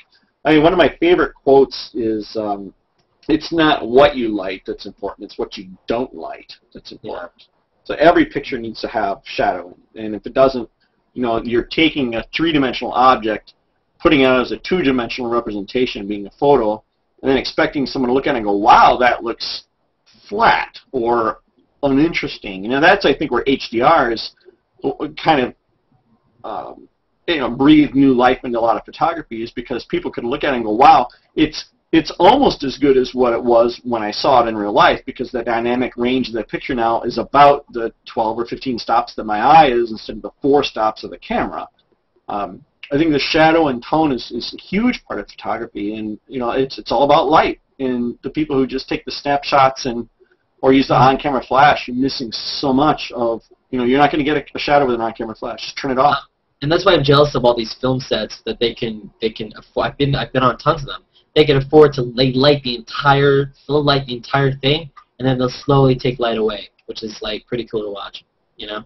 Yeah, I I very I would love to shoot on a, a film set someday. You know, just the props and the rooms. I mean, can do so much storytelling. You know, I'm just I'm stuck with the gray sweep. Although we do have uh, we have a, a, we have almost 3,000 square foot of studio now, so we've got a, a couple cars we're going to be pulling in there, and, and so you're going to see a lot more car photos coming up, and and more motorcycle photos in the coming uh, months because I'm going to have one uh, to fiddle with, and then we're going to build sets and do some other stuff. Like I want to do a uh, a zombie or not a zombie, uh, a vampire pinup uh, shoot. So in a couple months you'll start to see those wander in. So we might do a uh, a mausoleum set with a with a coffin and we'll play around with it. Well, that'd be cool. Like you talked about movie posters. I think maybe just making fake movie posters would be kind of cool.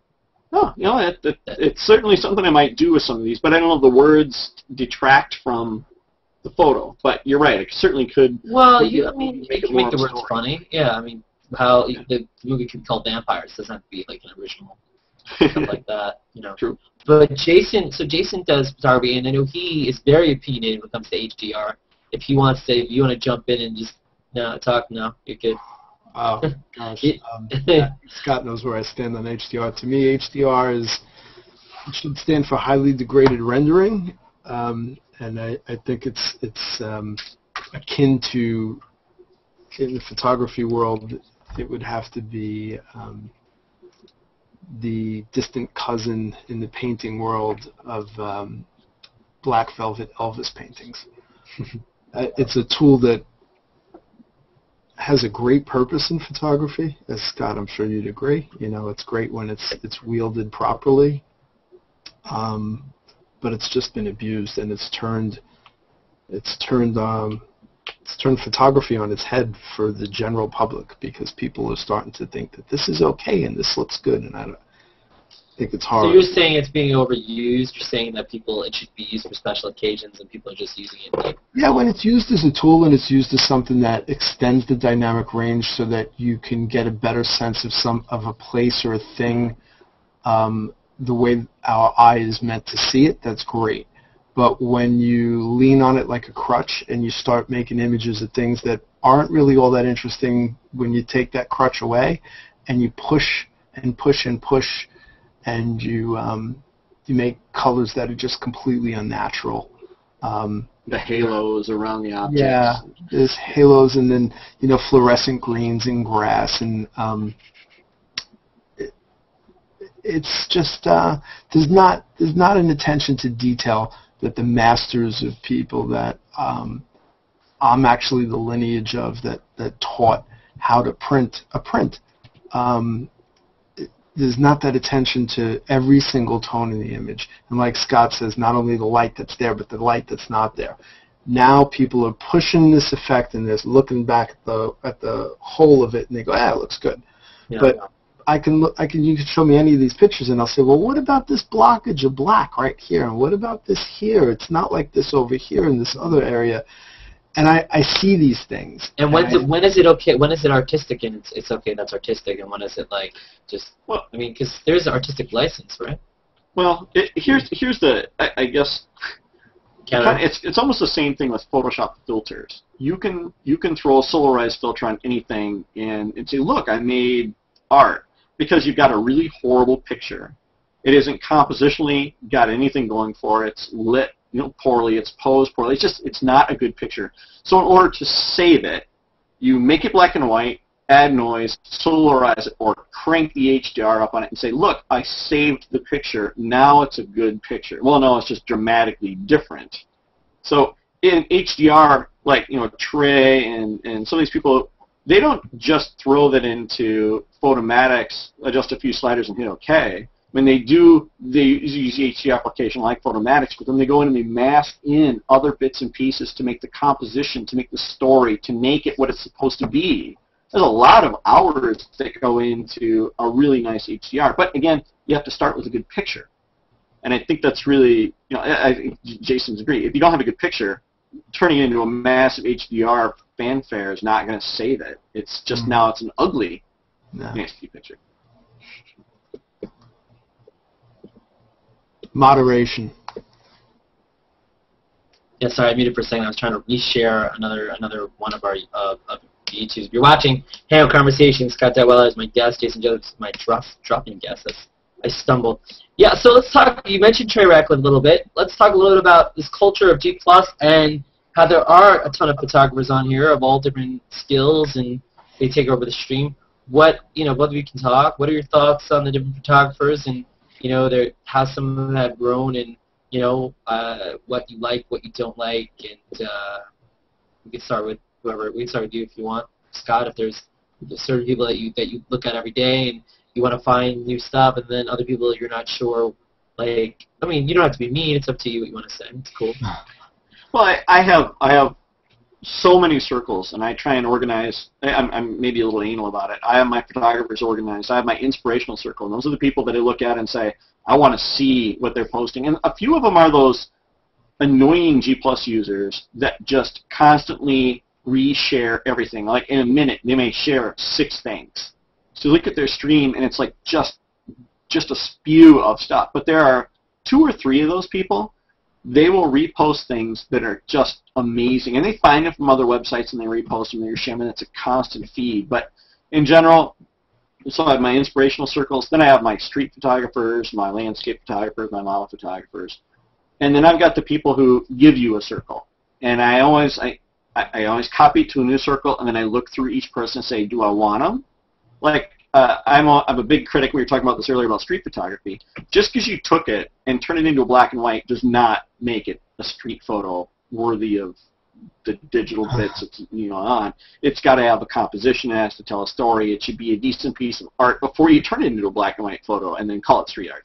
So there's so many street photographers that I've seen on Google Plus that I'm just like, I'm not, I have no interest in following this person. But then there's a couple that that are just amazing, and I'm like, wow, I actually am going to follow some street photographers, which is bizarre for me because I have no interest in that at all, but I mm-hmm. appreciate it when I see it. And uh, Jason is, is a lot more active on Google Plus than I am when it comes to the you know interacting with because he's the Hangout king. yes, he's one of them, yeah. Yes, uh, but that that's that's how I'm that's how I'm organizing it. Okay, and this one question real quick. What a crock! What a crock! Great name. Uh, you can both answer this too. What do you think of black and white HDR? Is that you know, it, just... it, it, again, the, the idea behind an HDR is to capture as many stops as possible because your camera can only see four. You've got to piece together enough to get your 12 so you can go, hey, that's what it looked like. I mean, yeah, I guess you had to be there kind of thing. A black and white HDR, I don't know what to think about that. I mean, I guess I guess if you if, if it's I guess it would be just the equivalent of tuning a regular black and white to make it work, but you're going to have more data. I don't know. I I, I, am gonna I'm gonna scoff at that one for a moment. Uh, let's, we, no, we get HDR. You know, you know yeah. is yeah, you're not a fan of HDR. We get it. What black and white HDR selective color? Ooh. What is that? What does that mean? The rose, a rose yeah. in selective. Yeah. Yes. So the whole thing will be black and white, and then there'll just be one, one thing in the photo that'll be in color, but the whole photo will be HDR. That's a pretty, pretty trend. That's a great. We should, you know, what we should do. We should create a group just for that. Yeah. Absolutely. And then set it on fire. There are so many. There are so many groups. That, to me, there are different levels of different kinds of photography, but it. I don't know if it's got on a hand or it's awesome because I'm not. A, I'm not a photographer, but to see. All right, there's like we're having a theme Wednesday, and we're doing this, and we're this kind of photography, you know, your conceptual portrait, and you know, Jason, what do you consider yourself specifically? As bored, you know.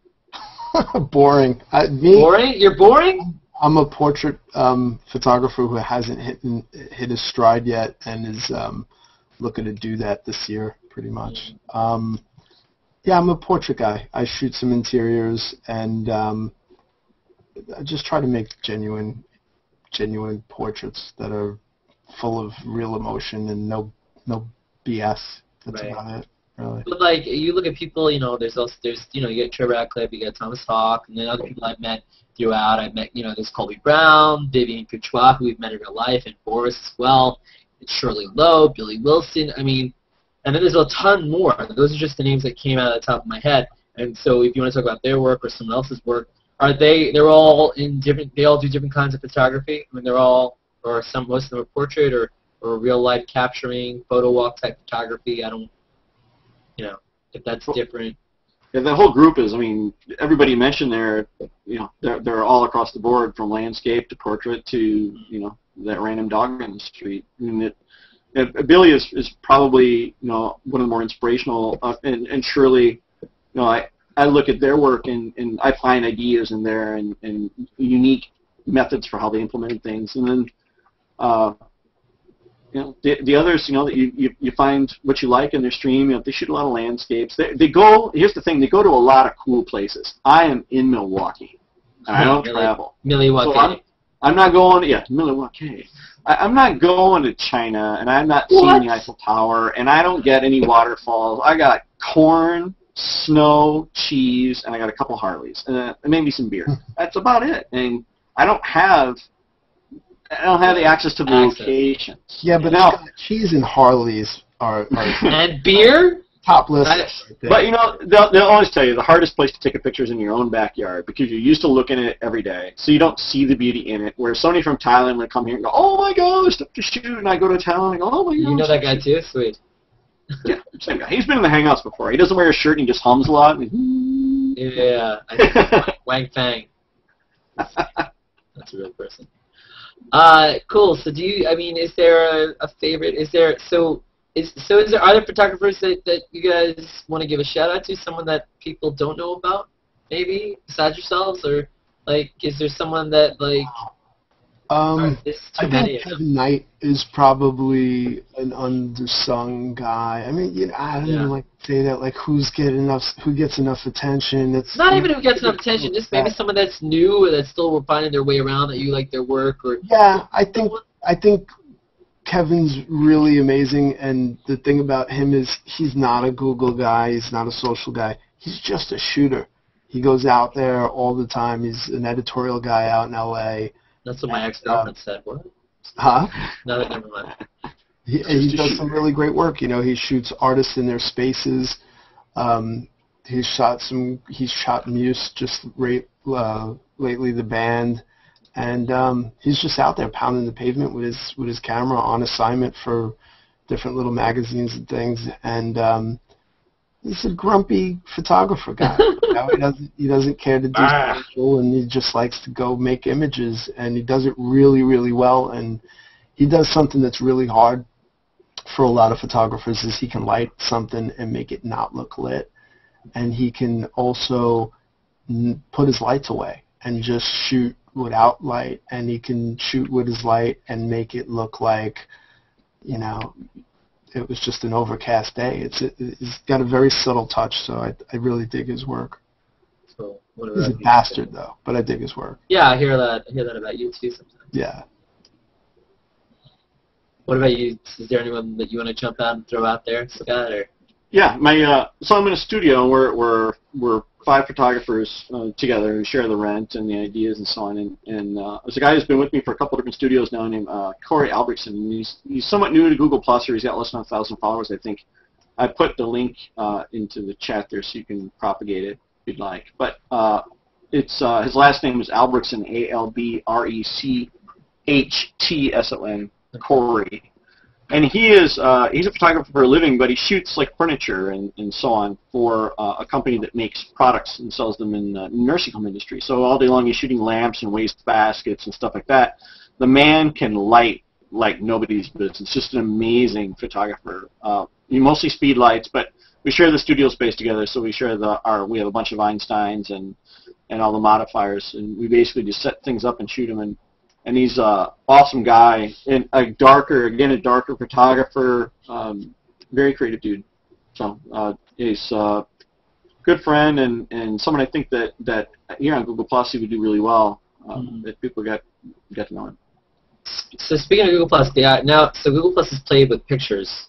Um, and they've rearranged. You know, the posts now the pictures are bigger, and now instead of one picture, sometimes there's two or three together, and you know, there's a lot of photographers that say, oh, I don't like how the big box looks, or the, the light box, or this, or the colors, or I mean, how do you guys feel about what it, how it looks now and how it works on social on Google Plus and other social networks? I mean, do you have any opinion? Does it take away from work? Does it add to work?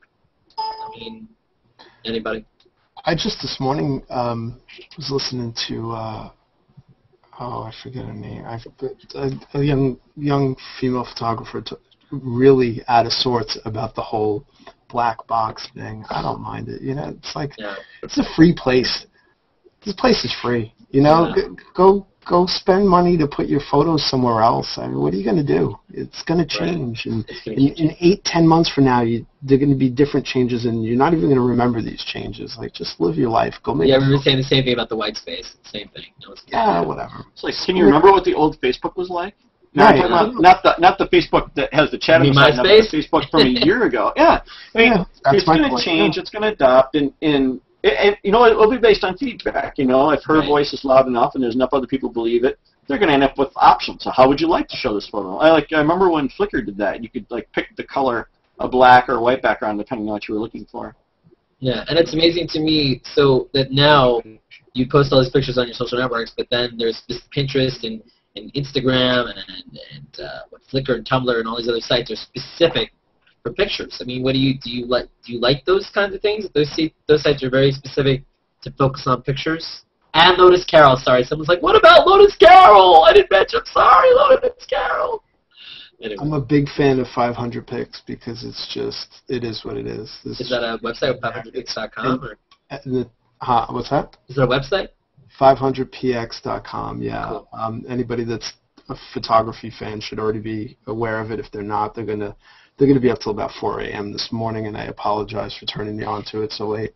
But um, it, it's social too. But really, mainly the thing I dig about it is there's such a um, there's such a such a level of quality of images there that this is where art directors are going to look. This is where people that buy photography, that hire photographers to make images, go to look. It's a really good place. And I, I'm surprised that people that are so concerned with having their images plussed and loved and shared and humped on Google, you know, what are you doing on 500 pics? Uh, not much. And I'm just as guilty. I, Right. I'm, I really am. I, I I've got a few there. They're not, you know, organized. I don't. I get. Don't There's only so much time in a day, you know. You want to Yeah, seriously. do other stuff. Yeah, I mean, you and can't I'm be. a very social guy. Like I like to. I like company. you company. to kick it. Yeah. But um, 500 pics is, is a serious um, powerhouse if you're a photographer. What about you, Scott? Do you do you use all these the web? I mean, you mentioned Flickr. Do you use Pinterest, Instagram, all those other things, and like the i- and then the idea that you can add layers. I mean, the idea that you can take an ordinary picture and then put a layer on it, and now it's like kind of like better than it than it was, or then it, I don't know. I, I, I, I don't use Pinterest at all. Um, Yeah. 500px again. I'm just as guilty. I don't have much on there. Uh, being chasing space. Or, Flickr, and of course Green Martini for, for most of the stuff I'm working in because that's where I'm getting my work. You know, I got hired off of Green Martini. You know, I got a model who approached me. So I, that's the kind of work that I'm trying to capture. You know, be I have actually not sold an image. Uh, I take that back. A record company is going to buy a couple of them, but that was just somebody here on Google Plus. So you give Google Plus credit for finding a customer. But well, there you go. You're not going to find as great as 500px might. I mean, maybe you're not going to find the same kind of connection that you do on Plus. Yeah, exactly. But you know, I don't sell my work. You know, most of the time I either shoot for a specific client, or you know, or the model wants portfolio work done. But I, I don't really ever have an opportunity to sell my pictures. I haven't really ever tried, in truth. Uh, maybe a 500px, you know, will work. But my goal is to try and get the shooting dates. You know, I want I want someone to hire me to shoot. Like I've got um, next Thursday, I've got a, a shoot with a magazine here that's local. I've got um, I do work with the Miss Wisconsin pageant, so I shoot uh, for the Miss America group, and then I do um, uh, so, some different things. I don't shoot senior portraits, and I might shoot a wedding or two, but it's got to be i- interesting, and I won't Yeah. shoot the receptions because I'm not into Uh-huh. that whole Yeah. people with food in their mouths. I want to light everybody and pose everybody, so I'm so particular. I would do engagement photos all day long. That's fun because you, you, the bride will listen to you. You pose or you light or you make beautiful art. Um, so that's So just, what do you? yeah, I, I would agree though. 500px is a great site for eye candy though. Cool. 500px it is, and also Or, or or don't forget DeviantArt. DeviantArt too. Not I've heard of. So what? So what do you guys think of paparazzi? Are they just are those pictures awful? Are they just bastards, or do you think they, or, or is there an art to it? I don't even consider it photography. Truthfully, No? it's just it's to me it's just snapshots. I mean, they're, they're getting pictures of somebody in a compromising situation because it's worth a lot of money. Yeah, I wouldn't. Um, there's a good chance that if you met me when I was out and you told me you were a paparazzi, that you'd get my back at best. You, you wouldn't be able to find me, but paparazzi or not. I, I wouldn't. I wouldn't hang out with a paparazzi. as right as awful as paparazzi is, do they ever get pictures that are good, even if they're even if the way they went to get them were ridiculous? I mean, happen. Well, Are the any of them word good, professional? yeah. No, no. Well, it, it's all they're trying to do is get a picture of something that's embarrassing Right. or newsworthy because that photo is then worth money. It doesn't Right. matter how how well it's lit. It doesn't matter how it's posed. It doesn't matter how it's. I mean, complete completely off center and blurry. But it's some model who's overweight now or has a baby bump and it's worth you know forty grand to them. That's how they make their money. They don't care about the artistic quality of that photo. Now I'm saying this from my own experience, which is zero. So, Huh. but Yeah, yeah, that's but just it, my it is interesting about value, right? The idea that a picture of some celebrity that's fat now or whatever you want, or in a sexual composition or whatever you want to call it, you know, is worth way more money, like forty thousand dollars, and you know, you guys are doing real art, and to have someone pay forty thousand dollars is not as, as simple as it is for a celebrity picture, right? So, you know, it's the value, what we value in society, or what's valued. Well, it's, it's Yeah. the buyer. It's, it's worth the buyer. The newspaper wants a picture of a baby bump. They'll yeah. pay for it. Where you know a picture of you know beautiful street art or a woman on a motorcycle or something like that. Eh, Right. you know, that's for advertising. That's different. That's not news. News is worth a lot of money. would would you guys be for would you be forced like a, a like an actress or an actor like taking a shoot a shoot of them just a professional shoot or would that be cool would that be weird Would you do what? I would love that. yeah a celebrity shoot yeah celebrity shoot that'd be cool would you be into No, but I that missed, I missed the question. Would, I said would you be into doing like a celebrity shoot if you got a paid gig with an actor or an actress oh yeah, I'm doing. I'm doing a couple this year. cool Yeah. anything you can tell us about still in the wraps or Um, one's for it's for an author, and it's it's going in a couple of celebrities' books. Um, I can't say whose. Um, Three of them though. They come out in June. Um, same picture. Um, I think what Scott was talking about with the paparazzi, and, and from what I know of Scott, and I feel the same way, is that we respect the people that we point our cameras at and we know that it's a um, it's a privilege to do what we do.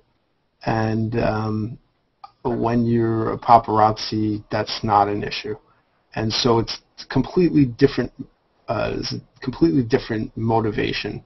And while there might seem to be a ton of money there, um, those guys could be some really seedy You have to be almost by definition. yeah. Um, and you can chase the money and they can make big checks, but you know, when you chase what you love, the money just comes.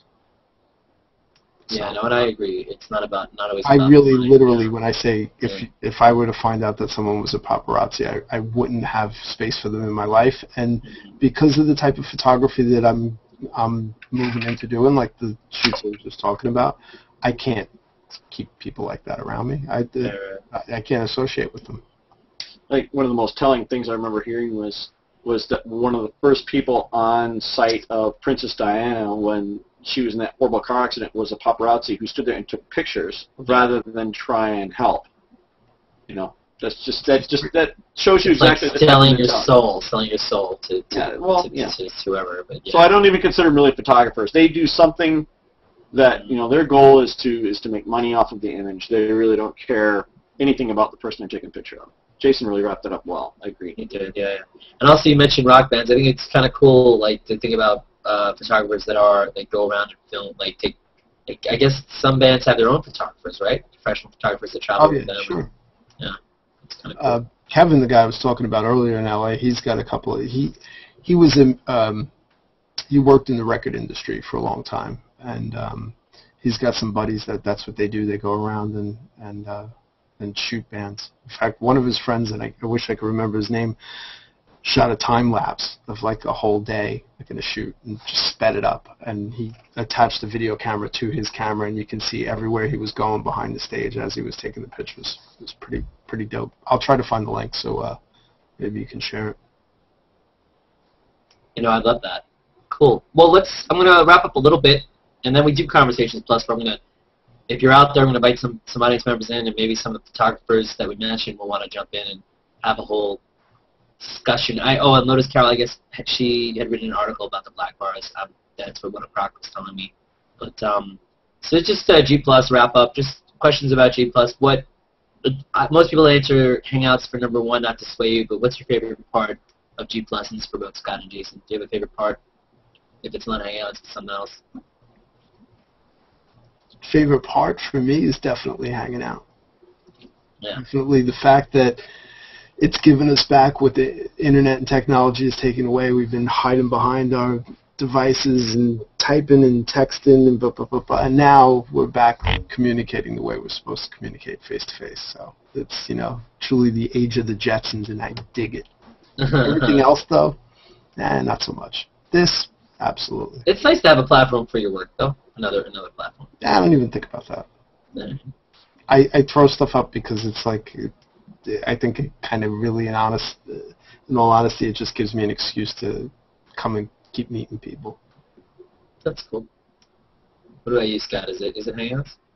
Uh, yeah, I mean, I really like the Hangouts, but also I want to say that just on a on a scale of, of accessibility to individuals. I mean, I've met people on Google Plus that I mean, you consider almost unattainable in real life. Like you jump into Facebook, you're not going to be able to interact with you know the rock stars of today. You know, you've got like people like Hugh Jackman and and Britney Spears and April Summers and some of these other people that I mean, not even just in the photography universe, but outside of that, that could pop into a hangout or plus one one of your works or comment on your work, and you actually seem like you're much closer to them. Maybe that's because Google Plus is still kind of small, but I, I don't think that that's the case. I think it's just the fact that, that it's not so much a this flood of vague posts and like me spam and vote for me spam that we see so much on Facebook that it's it's almost it's almost like it's almost like junk mail now where I have to sort through all the crap to get to the two or three things I like. Where on Google Plus, you put people in different circles, you adjust how much you want to see there, and so my stream when I look at it is all interesting to me. When I look at it, I, every picture that pops up, every article that pops up is from someone I I respect their opinion. They don't share crap, or you know that's what Facebook is for. If you're not sure, throw it on there. If you if you vetted it and you like it, then you put it on Google Plus. The quality of what you get here, yes, with the Hangouts, but just the general feel of the quality of the product is much higher to me. Yes, it doesn't have the people yet, but if it maintains the quality level and the capability, uh, the accessibility to some of these movie stars and these people that, that everybody's seeing. I mean, how, how often do you get the Dalai Lama on Right. Facebook to do a hangout? You know? No, you're right. And the Google name is important. I mean, I think that Google comes with a reputation. I mean, the idea that Facebook, I guess some people have it as their homepage or whatever, but you have to go there. That Google is most people's homepages, your phone, Google is there. It's part of it. It's not something separate. So there is that that was already built in. I think people there's a whole debate about whose privacy is better, Google or Facebook, and who's going to get what, and da da da. But at the end of the day, people are getting themselves out there, and let's be honest, we all have phones and things like that, and our data, whatever. People are going to find us and track us, and, and who cares? They, unless you're a criminal, what does it really matter, right?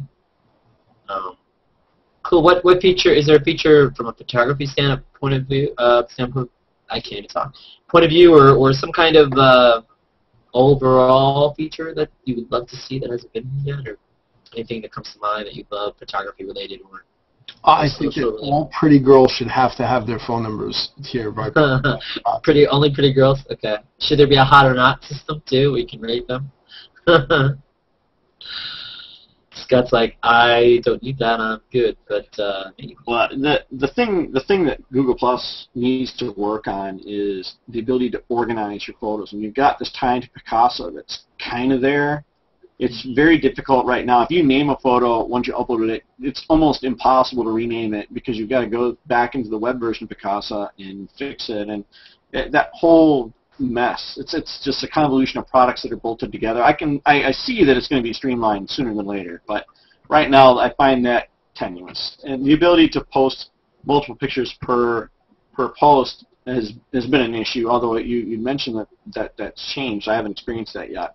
Uh, I can see this becoming more of a blog stream of sorts. You know, the quality of the posts on Google Plus is so much higher, and it's not that the it's not just the unhappy face and then the barrage of, oh, what's wrong? What's wrong? You know, that doesn't happen on here. This is a, you get a high quality, lengthy share of information that people like or don't like or share or what have you. Uh, I think the posting multiple pictures per article will be important. But otherwise, mean, just I, I like it. It's there's there's nothing really to dislike about it other than the organization. You get spoiled by Flickr, who has amazing organizational skills or capabilities, and then Google Plus is still in its infancy.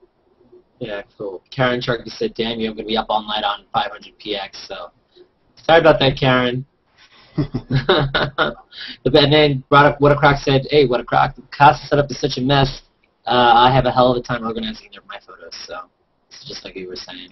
I think Scott's right, though. Uh, definitely, to answer the question more seriously, we really need the we really need the option to um, an RC Concepcion who's phenomenal. RC, you're the best, dude. Um, brought this up a few days back. Is to be able to, you know, put images throughout your your post. You know, make it more like a blog, give people the control. And the reason that they should do it, and I, I tagged um, She in this, and I didn't get any response, which really ticked me off because they they always respond when um, whenever we've made an attempt at communication. They kind of let. Well, they do, in fairness, so they get a lot of. I mean, they get a lot of messages, and maybe that's not his area. Well, I think that, that, that they didn't want to answer it, and, and I'll tell you why. This is why I think that they don't want to do that. Is that, um, or why they should consider it rather. As it stands now, if somebody wants to post like that, their their only option is to do it in a blog. So if you're doing it in a blog, it's forcing the people to leave Google Plus and go to the blog to get that content. Well, there's a big war going on right now of, of not only how many users use a, a social media site, be it Facebook, Pinterest, or, or you know the big G but how much time per day they spend there. So there are lots of little things that these um, companies do to make sure that we spend as much time as possible here. So it seems ridiculous to me that you know they're giving giving it away to someone else when they can just give us the option to make it like a Twitter and uh, you know you can do a tiny little post or you can make a really long post and customize that post to look exactly the way you want it to. Um, and so you're saying like to to have the example you're giving is like instead of having pictures at the bottom, you have pictures like in between text, right? Right. Like a magazine article almost, yeah. Right. Yeah. Maybe you want to show a how-to. Maybe Scott wants to show how he lights something. We start with this and ba ba ba ba ba ba ba, and here's a picture, and then we move on and we shoot it like this, and it looks like this, and ba ba ba ba on to the next thing. We don't have that option. You, when you want to do something like that, you've got to do a blog. Now you have or video. To, now you have to right now you have to leave Google. Um, and well, the other thing too, the other thing option too would be you know, on, on Google.com, they present a preview or something. In that, well, white space, whatever, if you were able to, like, click on the link and the link kind of open next to you so you could look, look at that, that would be cool too, right? Sure. Uh, that's it's up to the coders, however they want to do it. Right. The other thing that I think is is really sad that they took away is you used to have this nice little bit of information when someone would hover over a name, and it told me Scott is a photographer and I'm interested in, and you can fill out a little, it was like a little calling card, right? Now, with this, my only complaint with the new change is they took that away, and there's very little bit of information there. We don't have the time to click through all the people that add us and see who they are and what they do.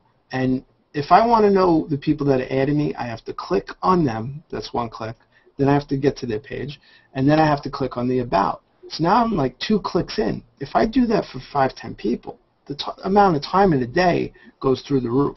So this Okay. is what I said to Chi. I think that's part of the reason they took it away because they know that if they take So it you- away, You're saying that the whole every all the new changes they made was because they were embarrassed by that thing that came out. And we and I talked to Eric Rice a little bit about this, the three minutes or whatever that people spend on the site, and they figured, all right, if we make everything take I- more time, it'll take longer hear.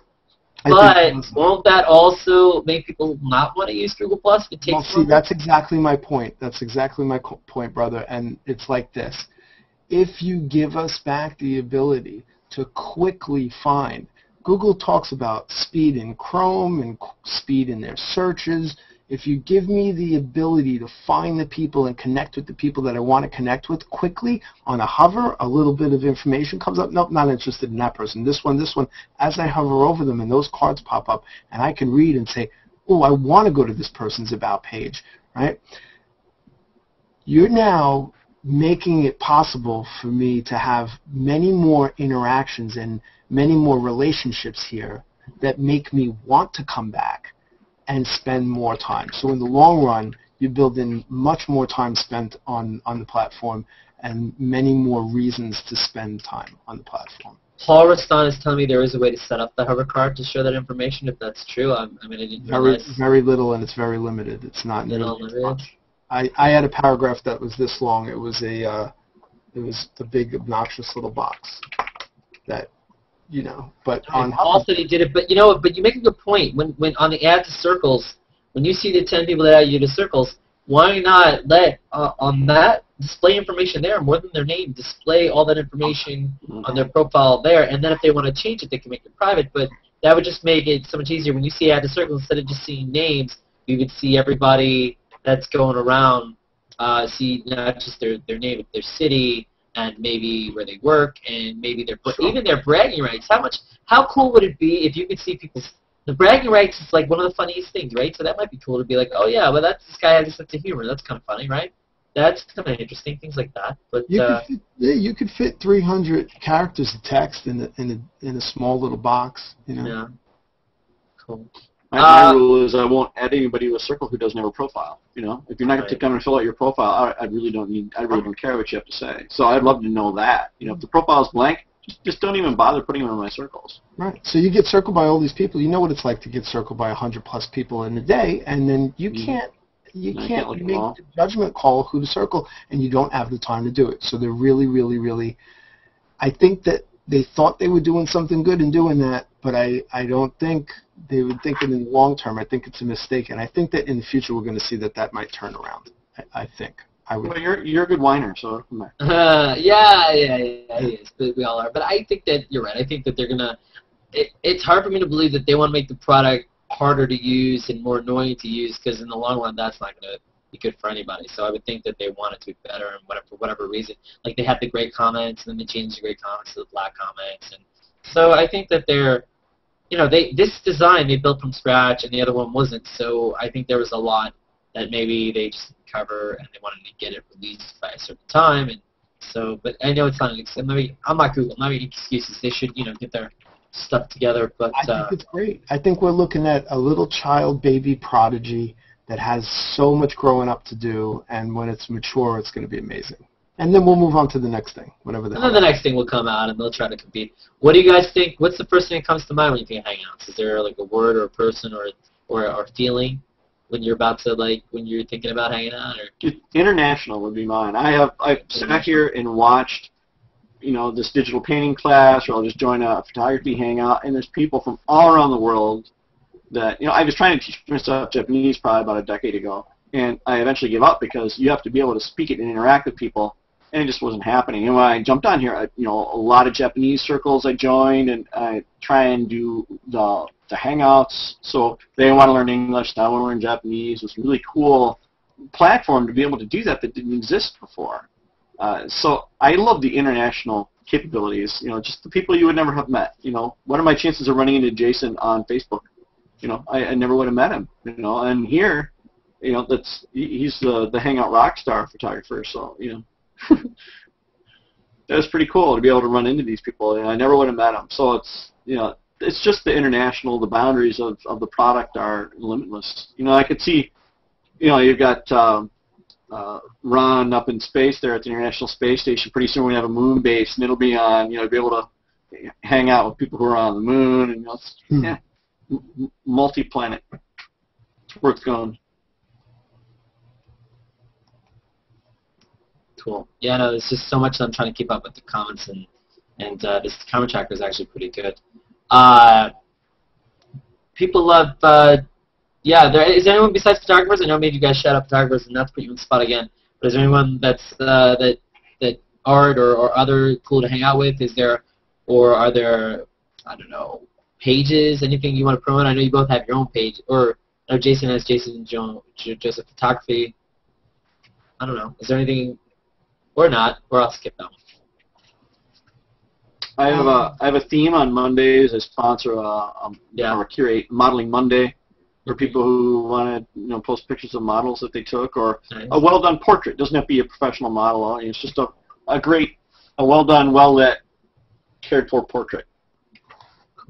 Yeah, I saw there was Wet Wednesdays, and at first that sounded a little sexual, but it turns out that's just pictures of the water or something like that. I like the themes. If you're Yeah. looking for something to shoot and you're like, well, I really don't know what I want to do today. You know, look at the themes for the day and go, okay, well, I'll go take a picture of a toad somewhere. It's, it's Toad Thursday. It's Tree Tuesday. It's, you know, I think that's kind of fun. It gives people a goal. You know, some, some of us, you know, we're starving for what we want to shoot and to be able to go out and, and say, well, here's four ideas for things that people are saying, if you post this today, I might reshare it. And obviously followers are like gold, you know, to some people. They're gold, Jerry, gold. Yes. I'm not so much concerned about it. You know, if they want to follow me, they follow me. It's not like on, on Facebook. You know, like you uh, like my page, like my page, like my page. Plus one, like yeah, they're all just numbers. At the end of the day, you could have amazing posts, have no plus ones. You could have a piece of garbage, have a thousand plus ones. At the end of the day, it is what it is. So. Uh, but it's reach. You know, it's marketing reach. You know, how many people listen to what you have to say, and it makes you feel good if that number's big. And it's really what it comes down to. right, but again, even though that number's big, doesn't mean that's really your reach. So it's it's funny how that works. Um, Yeah. yeah, Well, it's like interesting. And, It's like um, newspaper circulation. Just because you get the paper doesn't mean you read it. well, yeah. yeah. What were we gonna say, Jason? Oh, you asking uh, things to plug? I was just thinking. Yeah, uh, gonna plug something. uh, yeah, yeah. Larry uh, Fournillier has a, a really great use of the platform, and he's doing a cooking show on Sundays where he's um, instructing people to cook um, from around the globe, and he has them um, sends them a list of shopping of ingredients to go shop for, and uh, then instructs them through a whole meal and teaches them and answer, answers their questions. And um, it's got a pretty pretty good little rap going on with that. And that's uh, Sundays I think around four o'clock he does it or so. Awesome. Um, you know these these these themes they're starting to trend, which is which is interesting too. The trending topics, and you know some people are annoyed and hating the trending topics, and now it's really in the forefront, even though it was in the in the back on search. And, and it's interesting to see people like a lot of people, and I was doing it too, just because it was funny and to, and just to promote certain things is cool. But now hashtag getting hashtags trending. Yes, no, bacon. I don't. know. It's but but I saw Wet Wednesdays and some of it, so it does bring some of that attention to it. I don't know. It would be. I mean, do you ever click on some of the trending topics? Do you ever see what it's about? Do You ever, does that know nothing new? I No. I rarely do, and I found out someone t- told me today that um, Jam and Joe in L.A. She said you were on yesterday for Nikon. I said, what are you talking? I don't remember anything. Oh, there was some No. hashcon and hashtag I, Nikon. yeah, I had posted a, a picture of me, and it, it was I hashtagged the camera that I made it with, and Mhm. apparently I was came up in the what's best of. And you know what? I went to look at it today, and it's all completely different content, and it got me to think, wow, you know, that's actually pretty cool because it's just like this changing pulse of what's going on from day to day. You know, I don't see why people get so upset about it. I think they get upset about it because it reminds them of Twitter, and people are very like platform specific and, and loyal and I don't know where this loyalty comes from I think in this sense of pride like you didn't make Google Plus you know like what do you it's like if I make a photo and you like Scott's photo um, better than mine like what am I gonna scream up and down because you like his photo? Although it would be entertaining, but no, you don't you know, whatever happened to just acceptance? I think we need a lot more of that. Yeah. But um, well, there's a lot of you know a lot of jealousy in life, not just on Google Plus, and so you know. yeah, I, think it's cool to be able to to poke in and, and see what's going on, like in a little ticker or just a, hey, this word's hot, and it might be ridiculous why it's it's trending, but um, Whatever. Yeah, there's a lot of it's one man's treasure is another man's garbage, and It's curious. I, I don't see any harm in it. And so you guys are in agreement that you don't like cat pictures, dog pictures, and animated gifs, or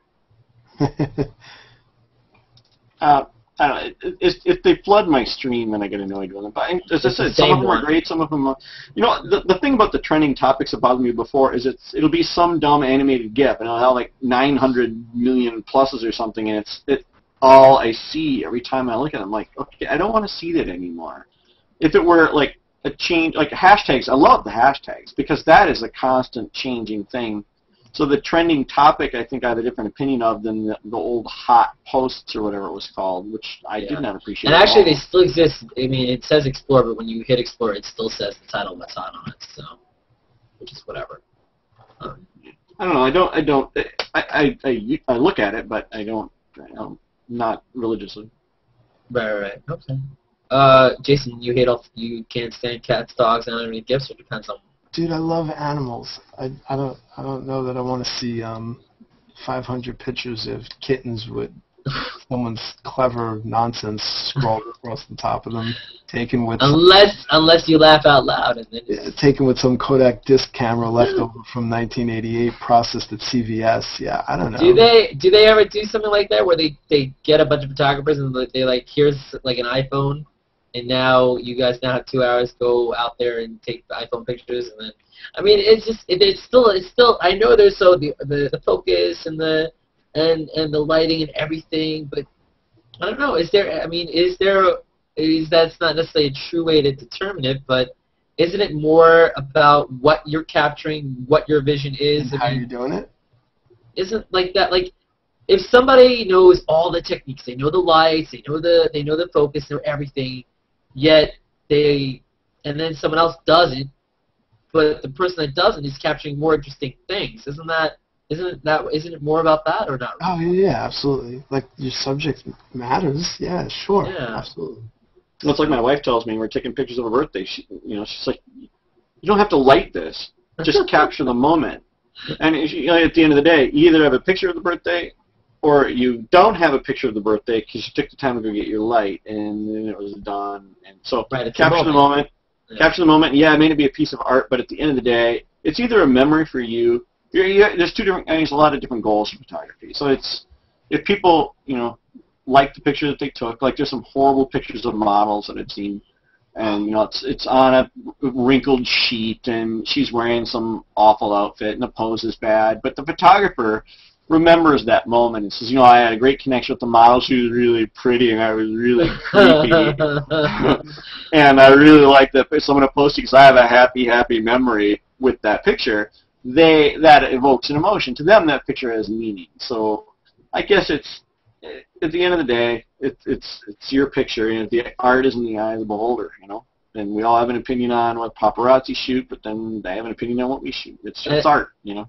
It's amazing to me. I mean, I see sometimes I'll see the sky and the colors in the sky. They're just awesome that I want to take a picture of it, and I'm sure you guys can do without without all these like sunsets and, and sunrises. You've seen them all, or like, do you think that that, that, that too many people It- would do that? Or not about the photo. It's not about like that. It's a photo of a cat or a photo of anything. Like I dig photography. I've always dug photography since I was a little kid. I've just I'm a visual person. I like to see pictures of things that are taken. Well, I like you know technically awesome pictures that look beautiful, and I like really crappy, grainy, photo, you know, crappy camera photos of really awesome things. You know, like who doesn't want to see someone that looks like they're falling off of a cliff, whether it was taken with a great camera or, you know, just I like pictures that tell the moment that show a funny thing happened. Like they might not be pretty to look at, but you can see that in that picture that it something crazy happened or some like someone was doing something or someone in the background. Like it tells us more of like you're there in the moment, tells you the story. It Might not be pretty to look at, but you're like, oh wow, that's really Yeah. cool. That's funny. Like the face and the hand and the everything he's think- doing. what I think becomes an issue is what you see on, on social media sites, right? And, and I'm not saying here, I'm saying everywhere, you know, is you get these people that this is all they do. It's they, they just keep throwing one after the other these Right. these images out there, and it doesn't even matter to me if it's if it's just really crappy images. Um, I just don't like seeing people that are just sharing stuff. Like it's just I don't like sharing. after the other, after the other. There's no conversation. It's just a treadmill of Yeah. here's another pitch, here's another awesome picture, here's another awesome picture, here's a, there's, you don't know who they are, what they do, why they're doing it, why they're sharing the picture, and that's like a little creepy. That's just a little weird. Yeah, it is kind of Watching annoying. TV It is and kind of annoying. sharing everything they see. Yeah. Right. I, I when I see those people, I just drop them off my circles if they're in my circles, because well, they're not useful. Although there's a couple um, that I try to find. I'll have to find the name that one. Some that, that share some really great stuff, but isn't it kind of creepy that, that it's going on and you, and you don't know anything about them because they don't tell you anything at all other than here's another picture. I, I just picture them as like OCD, like just click, click, like focused, staring at the screen in, in some kind of a trance-like state, unable to stop even if they wanted to. Right. No, I hear you. And you know what? I I'm guilty. I've been taking crazy amount of pictures. I will take so many pictures. I'll share, and I but I always make sure that there's content, like Yeah, there's text you're- along with my pictures. You're you're you're so complete. You're the polar opposite of Well, what I'm. Uh, that's, that's sweet of you. Uh, do you guys still use Facebook, Twitter, LinkedIn, and and, and everything less, more, the same? LinkedIn's Google huge. Plus. Yeah. LinkedIn's absolutely tremendous. Um, can't say enough good things about LinkedIn. I don't add anyone on LinkedIn. Don't add me on LinkedIn unless you have a job for me. Leave me alone. I'm about to be your friend anywhere, but I get a lot of requests on LinkedIn, and it's you know that's private, that's business, that's You heard it here first. Jason Joseph wants you to leave the F alone on LinkedIn. Okay. Bother him on Google Plus. that's it. Invite him to a hangout, especially if you're a pretty girl. But even if you're a pretty pretty close to a pretty girl, that that all right. Moderately pretty girl. moderately. Girl. If you're if you're not pretty, but you have so many other amazing things, there's a chance. If you think you may be pretty in five years from now, still. if you if you do have something to offer, what, Scott, what about you? Now that we've Oh, lost our entire female audience. Yeah, I know I still use Facebook and, and Flickr and uh, Twitter. Uh, LinkedIn a bit for the software stuff, not so much for photography.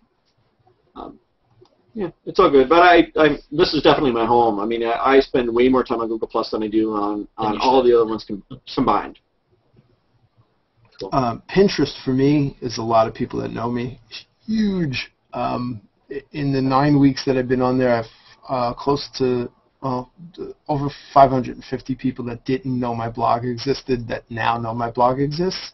I got a call for uh, to shoot a job for a um, motorcycle outfit in September coming up that we're we're in the talks of doing, um, which was which was amazing and. Um, Cool. also, I just kind of came across something came across my radar today. If anyone's familiar with a, a, an app called SpringPad or a, um, a website called SpringPad, they're kind of like Evernote. Um, they completely overhauled their system. Everything looks completely different, and they added social to it. And now you're able to. It looks almost exactly like Pinterest you're able to um, explore different areas, um, different topics. I'm not too sure how this is going to tie in, and if it's going to be the type of thing that it, it'll uh, be a place where you can dump off work and have it create backlinks to your website, which is great for Google search engine optimization. Um, but it looks like there's that possibility. Um, and also, it's great because it gives you, it affords you the ability, if you work with a creative team or if you work with a team in business, you can have private um, collaborative boards where you're sharing all different types of information, be it um, voice memos, photos, notes, um, checklists, uh, maps, anything, and, and have them be private, which you can't do in many places. Um, I think the only thing that Evernote may have it beat on um, is the fact that it does text recognition in photographs and the fact that it's integrated into a lot of other uh, platforms and um, where you can send from one platform to Evernote. But really, really, really powerful, interesting um, platform that I think is worth a look. Yeah, and there's just so many of them, though. I mean, that's really what it is. I mean, it's. I, I think you can get a try stuff out and find what you like, but the idea that I'm going to take a picture and then I'm going to go to like Instagram and Pinterest and Facebook and Twitter and Plus, and then if I want to put on Flickr and Tumblr and and then if I want to put my website and my blog and this and that, if I want to, you know, it's like, and then you're like, after you do all that, you're like, wait a second, nobody saw it. I posted it too late. I posted it too early. Now it's time Yeah. to reshare. You know? Time is huge. like- Timing is everything.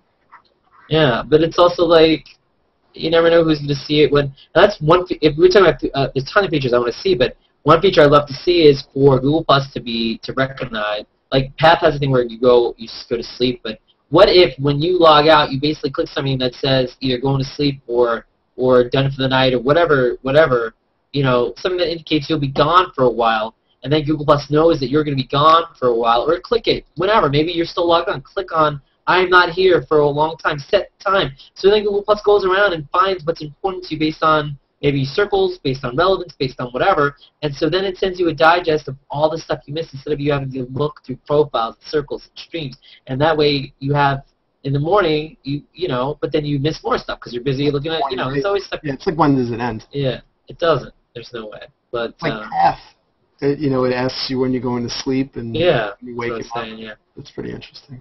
It's interesting, but you can only can't keep up with that. And also, like, when you wake up, do you think the first the first thing I'm not think I'm not thinking, oh wait, I better put that I woke up on Path, you know? Occasionally, if I I might do go to sleep because I might be looking at it, but I don't know. I was Uh, thinking about using that to track my sleeping patterns. Yeah, to- but good. but not share them, you know, because not to bore. When I realized that you can hide some of these things, so I could literally make a, a running track of that. Maybe I just need one of those one of those bracelets, right? The jawbone bracelet. The only yeah, but the only thing that sucks is like, can you imagine if you were been up for two hours, you put you're awake, you well then that's two hours you were already awake. You can't like fix that. So Yeah. that's kind of once you miss it, you miss it. What did we do in the 80s? What did we do with an alarm clock? What? A real alarm clock with a radio. I always think of Like Back that. to the Future. What? I like if that then this, or if if this then that. Uh, Rodney Pike, the illustriously talented um, Caricature artist. Caricature. Rodney Pike is awesome. yeah. Yeah, And I met him in real life. that's Really that's my boy. Nice dude. Did you? He's good. He's good. Yeah, it's funny. I met him at the NYC Hurl, and then two weeks, week, two, two weeks later, I met you. Well, he turned me on to to that site. Or actually, no, I don't think he turned me on to it, but it's a friend of his that makes it. That's what it was. It's a it's a friend. She it was her brainchild, and it lets you link all these different sites. So you know, like you can do an Instagram here and have that action trigger somewhere else, and have that action trigger somewhere else, and it's like automation. I can tell you right now, if you follow me on Twitter, Jason Joseph NYC, you'll get a thank you. Oh, direct. Yeah, the direct thing's okay, although there is a sense of like it being a direct message, an automated thing and not real. But yeah, whatever. It's cool. It's just something like with Be- your friend Rebecca Pearl. I got a direct message from her, thanking me, telling me to follow her on Facebook, which is okay, I guess. But I follow you on Plus. That's all I need to know. You sing here. You don't sing on Facebook, do you? She uh, she stopped by last night. She dropped two new tunes, and one of them just knocked me out. and Took one of my favorite songs of hers, and and I don't know, man. I think it might have knocked it into second place. She really knocked the ball out of the park, and uh, yeah, she's gonna have some good stuff coming out. All right. I won't touch what you said about her dropping by a top. Anyway. Sounded like you said number two, but you said two new. All right. Anyway. That's awesome. Rock stars that crap at Jason Joseph's house. That's not what he said, but it's funnier. I gotta admit. Uh, she's she's Rebecca Pearl. If you're watching, we love you. They can't stand you, by the way, Rob. What? You can't stand you. She can't? No, I can't. Oh, then why are you here? That's why you're sitting. uh, where was that? Is there a favorite? Is there a story on Google Plus that that melts your heart? That is there something that happened, like a connection, a job, or Yes. or yeah? Is Yes. Scott, do you have something that you want to go first with? No, I just like doing the retouch hangouts. I met so many people Yeah. through the, the hangouts that are cool. You know, being able to to hang with some of the folks whose books I've read and you know work I've admired is awesome. You know, that's I don't I don't have any specific story that hangs out like that or sticks out, but so much so many good hangouts in my memory. Yeah, it's amazing what you said. You can meet people. They might not be superstars or celebrities in the world, but the internet, and you know, it's like yeah, that's just a regular person, and they have a following, and you know, they were they didn't always have a following. They were you know, they built it up. What about you, Jason? You seem to be right. As soon as they said it, your eyes lit up. Yeah, um, I think that you'll know who I'm talking about. You're asking about a, a touching story, or I don't know how you worded it, but um, I was just drifted off, kind of thinking about the subject. Um, Milos, um, really great guy, a musician um, from, I believe, the Netherlands, who passed away just recently, last month, who we met in a hangout over over Christmas, and um, yeah, I mean, it just ripped my heart out that he died in a in a kayaking accident, and um, I think a lot of people here knew him, and it's amazing how real the connections are that you make here in Hangouts and the friends that you make, and um, yeah, I don't know. I mean, I guess just we should all be a little bit nicer to each other, tolerate each other a little bit more, and love each other a whole hell of a lot more because, you know, we're all in it together and we don't know how much time we have here. So just want to say that in his honor because he was a really warm, wonderful guy. Yeah, it's amazing uh, what what can happen in with this space and who you can meet. And then we do, for those of you watching, we do venture outside of the box, and we have met each other in real life. We have done it. It's been interesting, and uh, formed friendships have been formed, and people are flying all over the place. I, I wish I wish I could do more. And I know Chicago, they're having uh, one, and Miami, Canada, Ottawa, and Edinburgh, and we have one in New York, South by Southwest, DC. So many different hurls happening, or hangouts in real life, or whatever you want to call them. So yeah, our thoughts and prayers go out to his family, and uh, thanks for that, Jason. And I remember seeing posts about that. Uh, I can't thank you two enough. It's been a riveting time. Uh, and Scott, thanks so much for showing us your work. If, if you stand by just a few minutes, I'm gonna wrap up. Stand by uncomfortably, then we'll go into conversations plus. You stay for two minutes, stay for as long as you want. We'll we'll hang out. We'll see who comes in, and uh, it'll be more more ten, more relaxed and not really question question. Uh, next week we have Mike Searle, artist, funny guy, awesome man, very nice guy. If you guys know Mike Searle with beard and, and always always funny. Uh, Jane Ellen will be here May 3rd, guitarist Matt Gibson May 10th.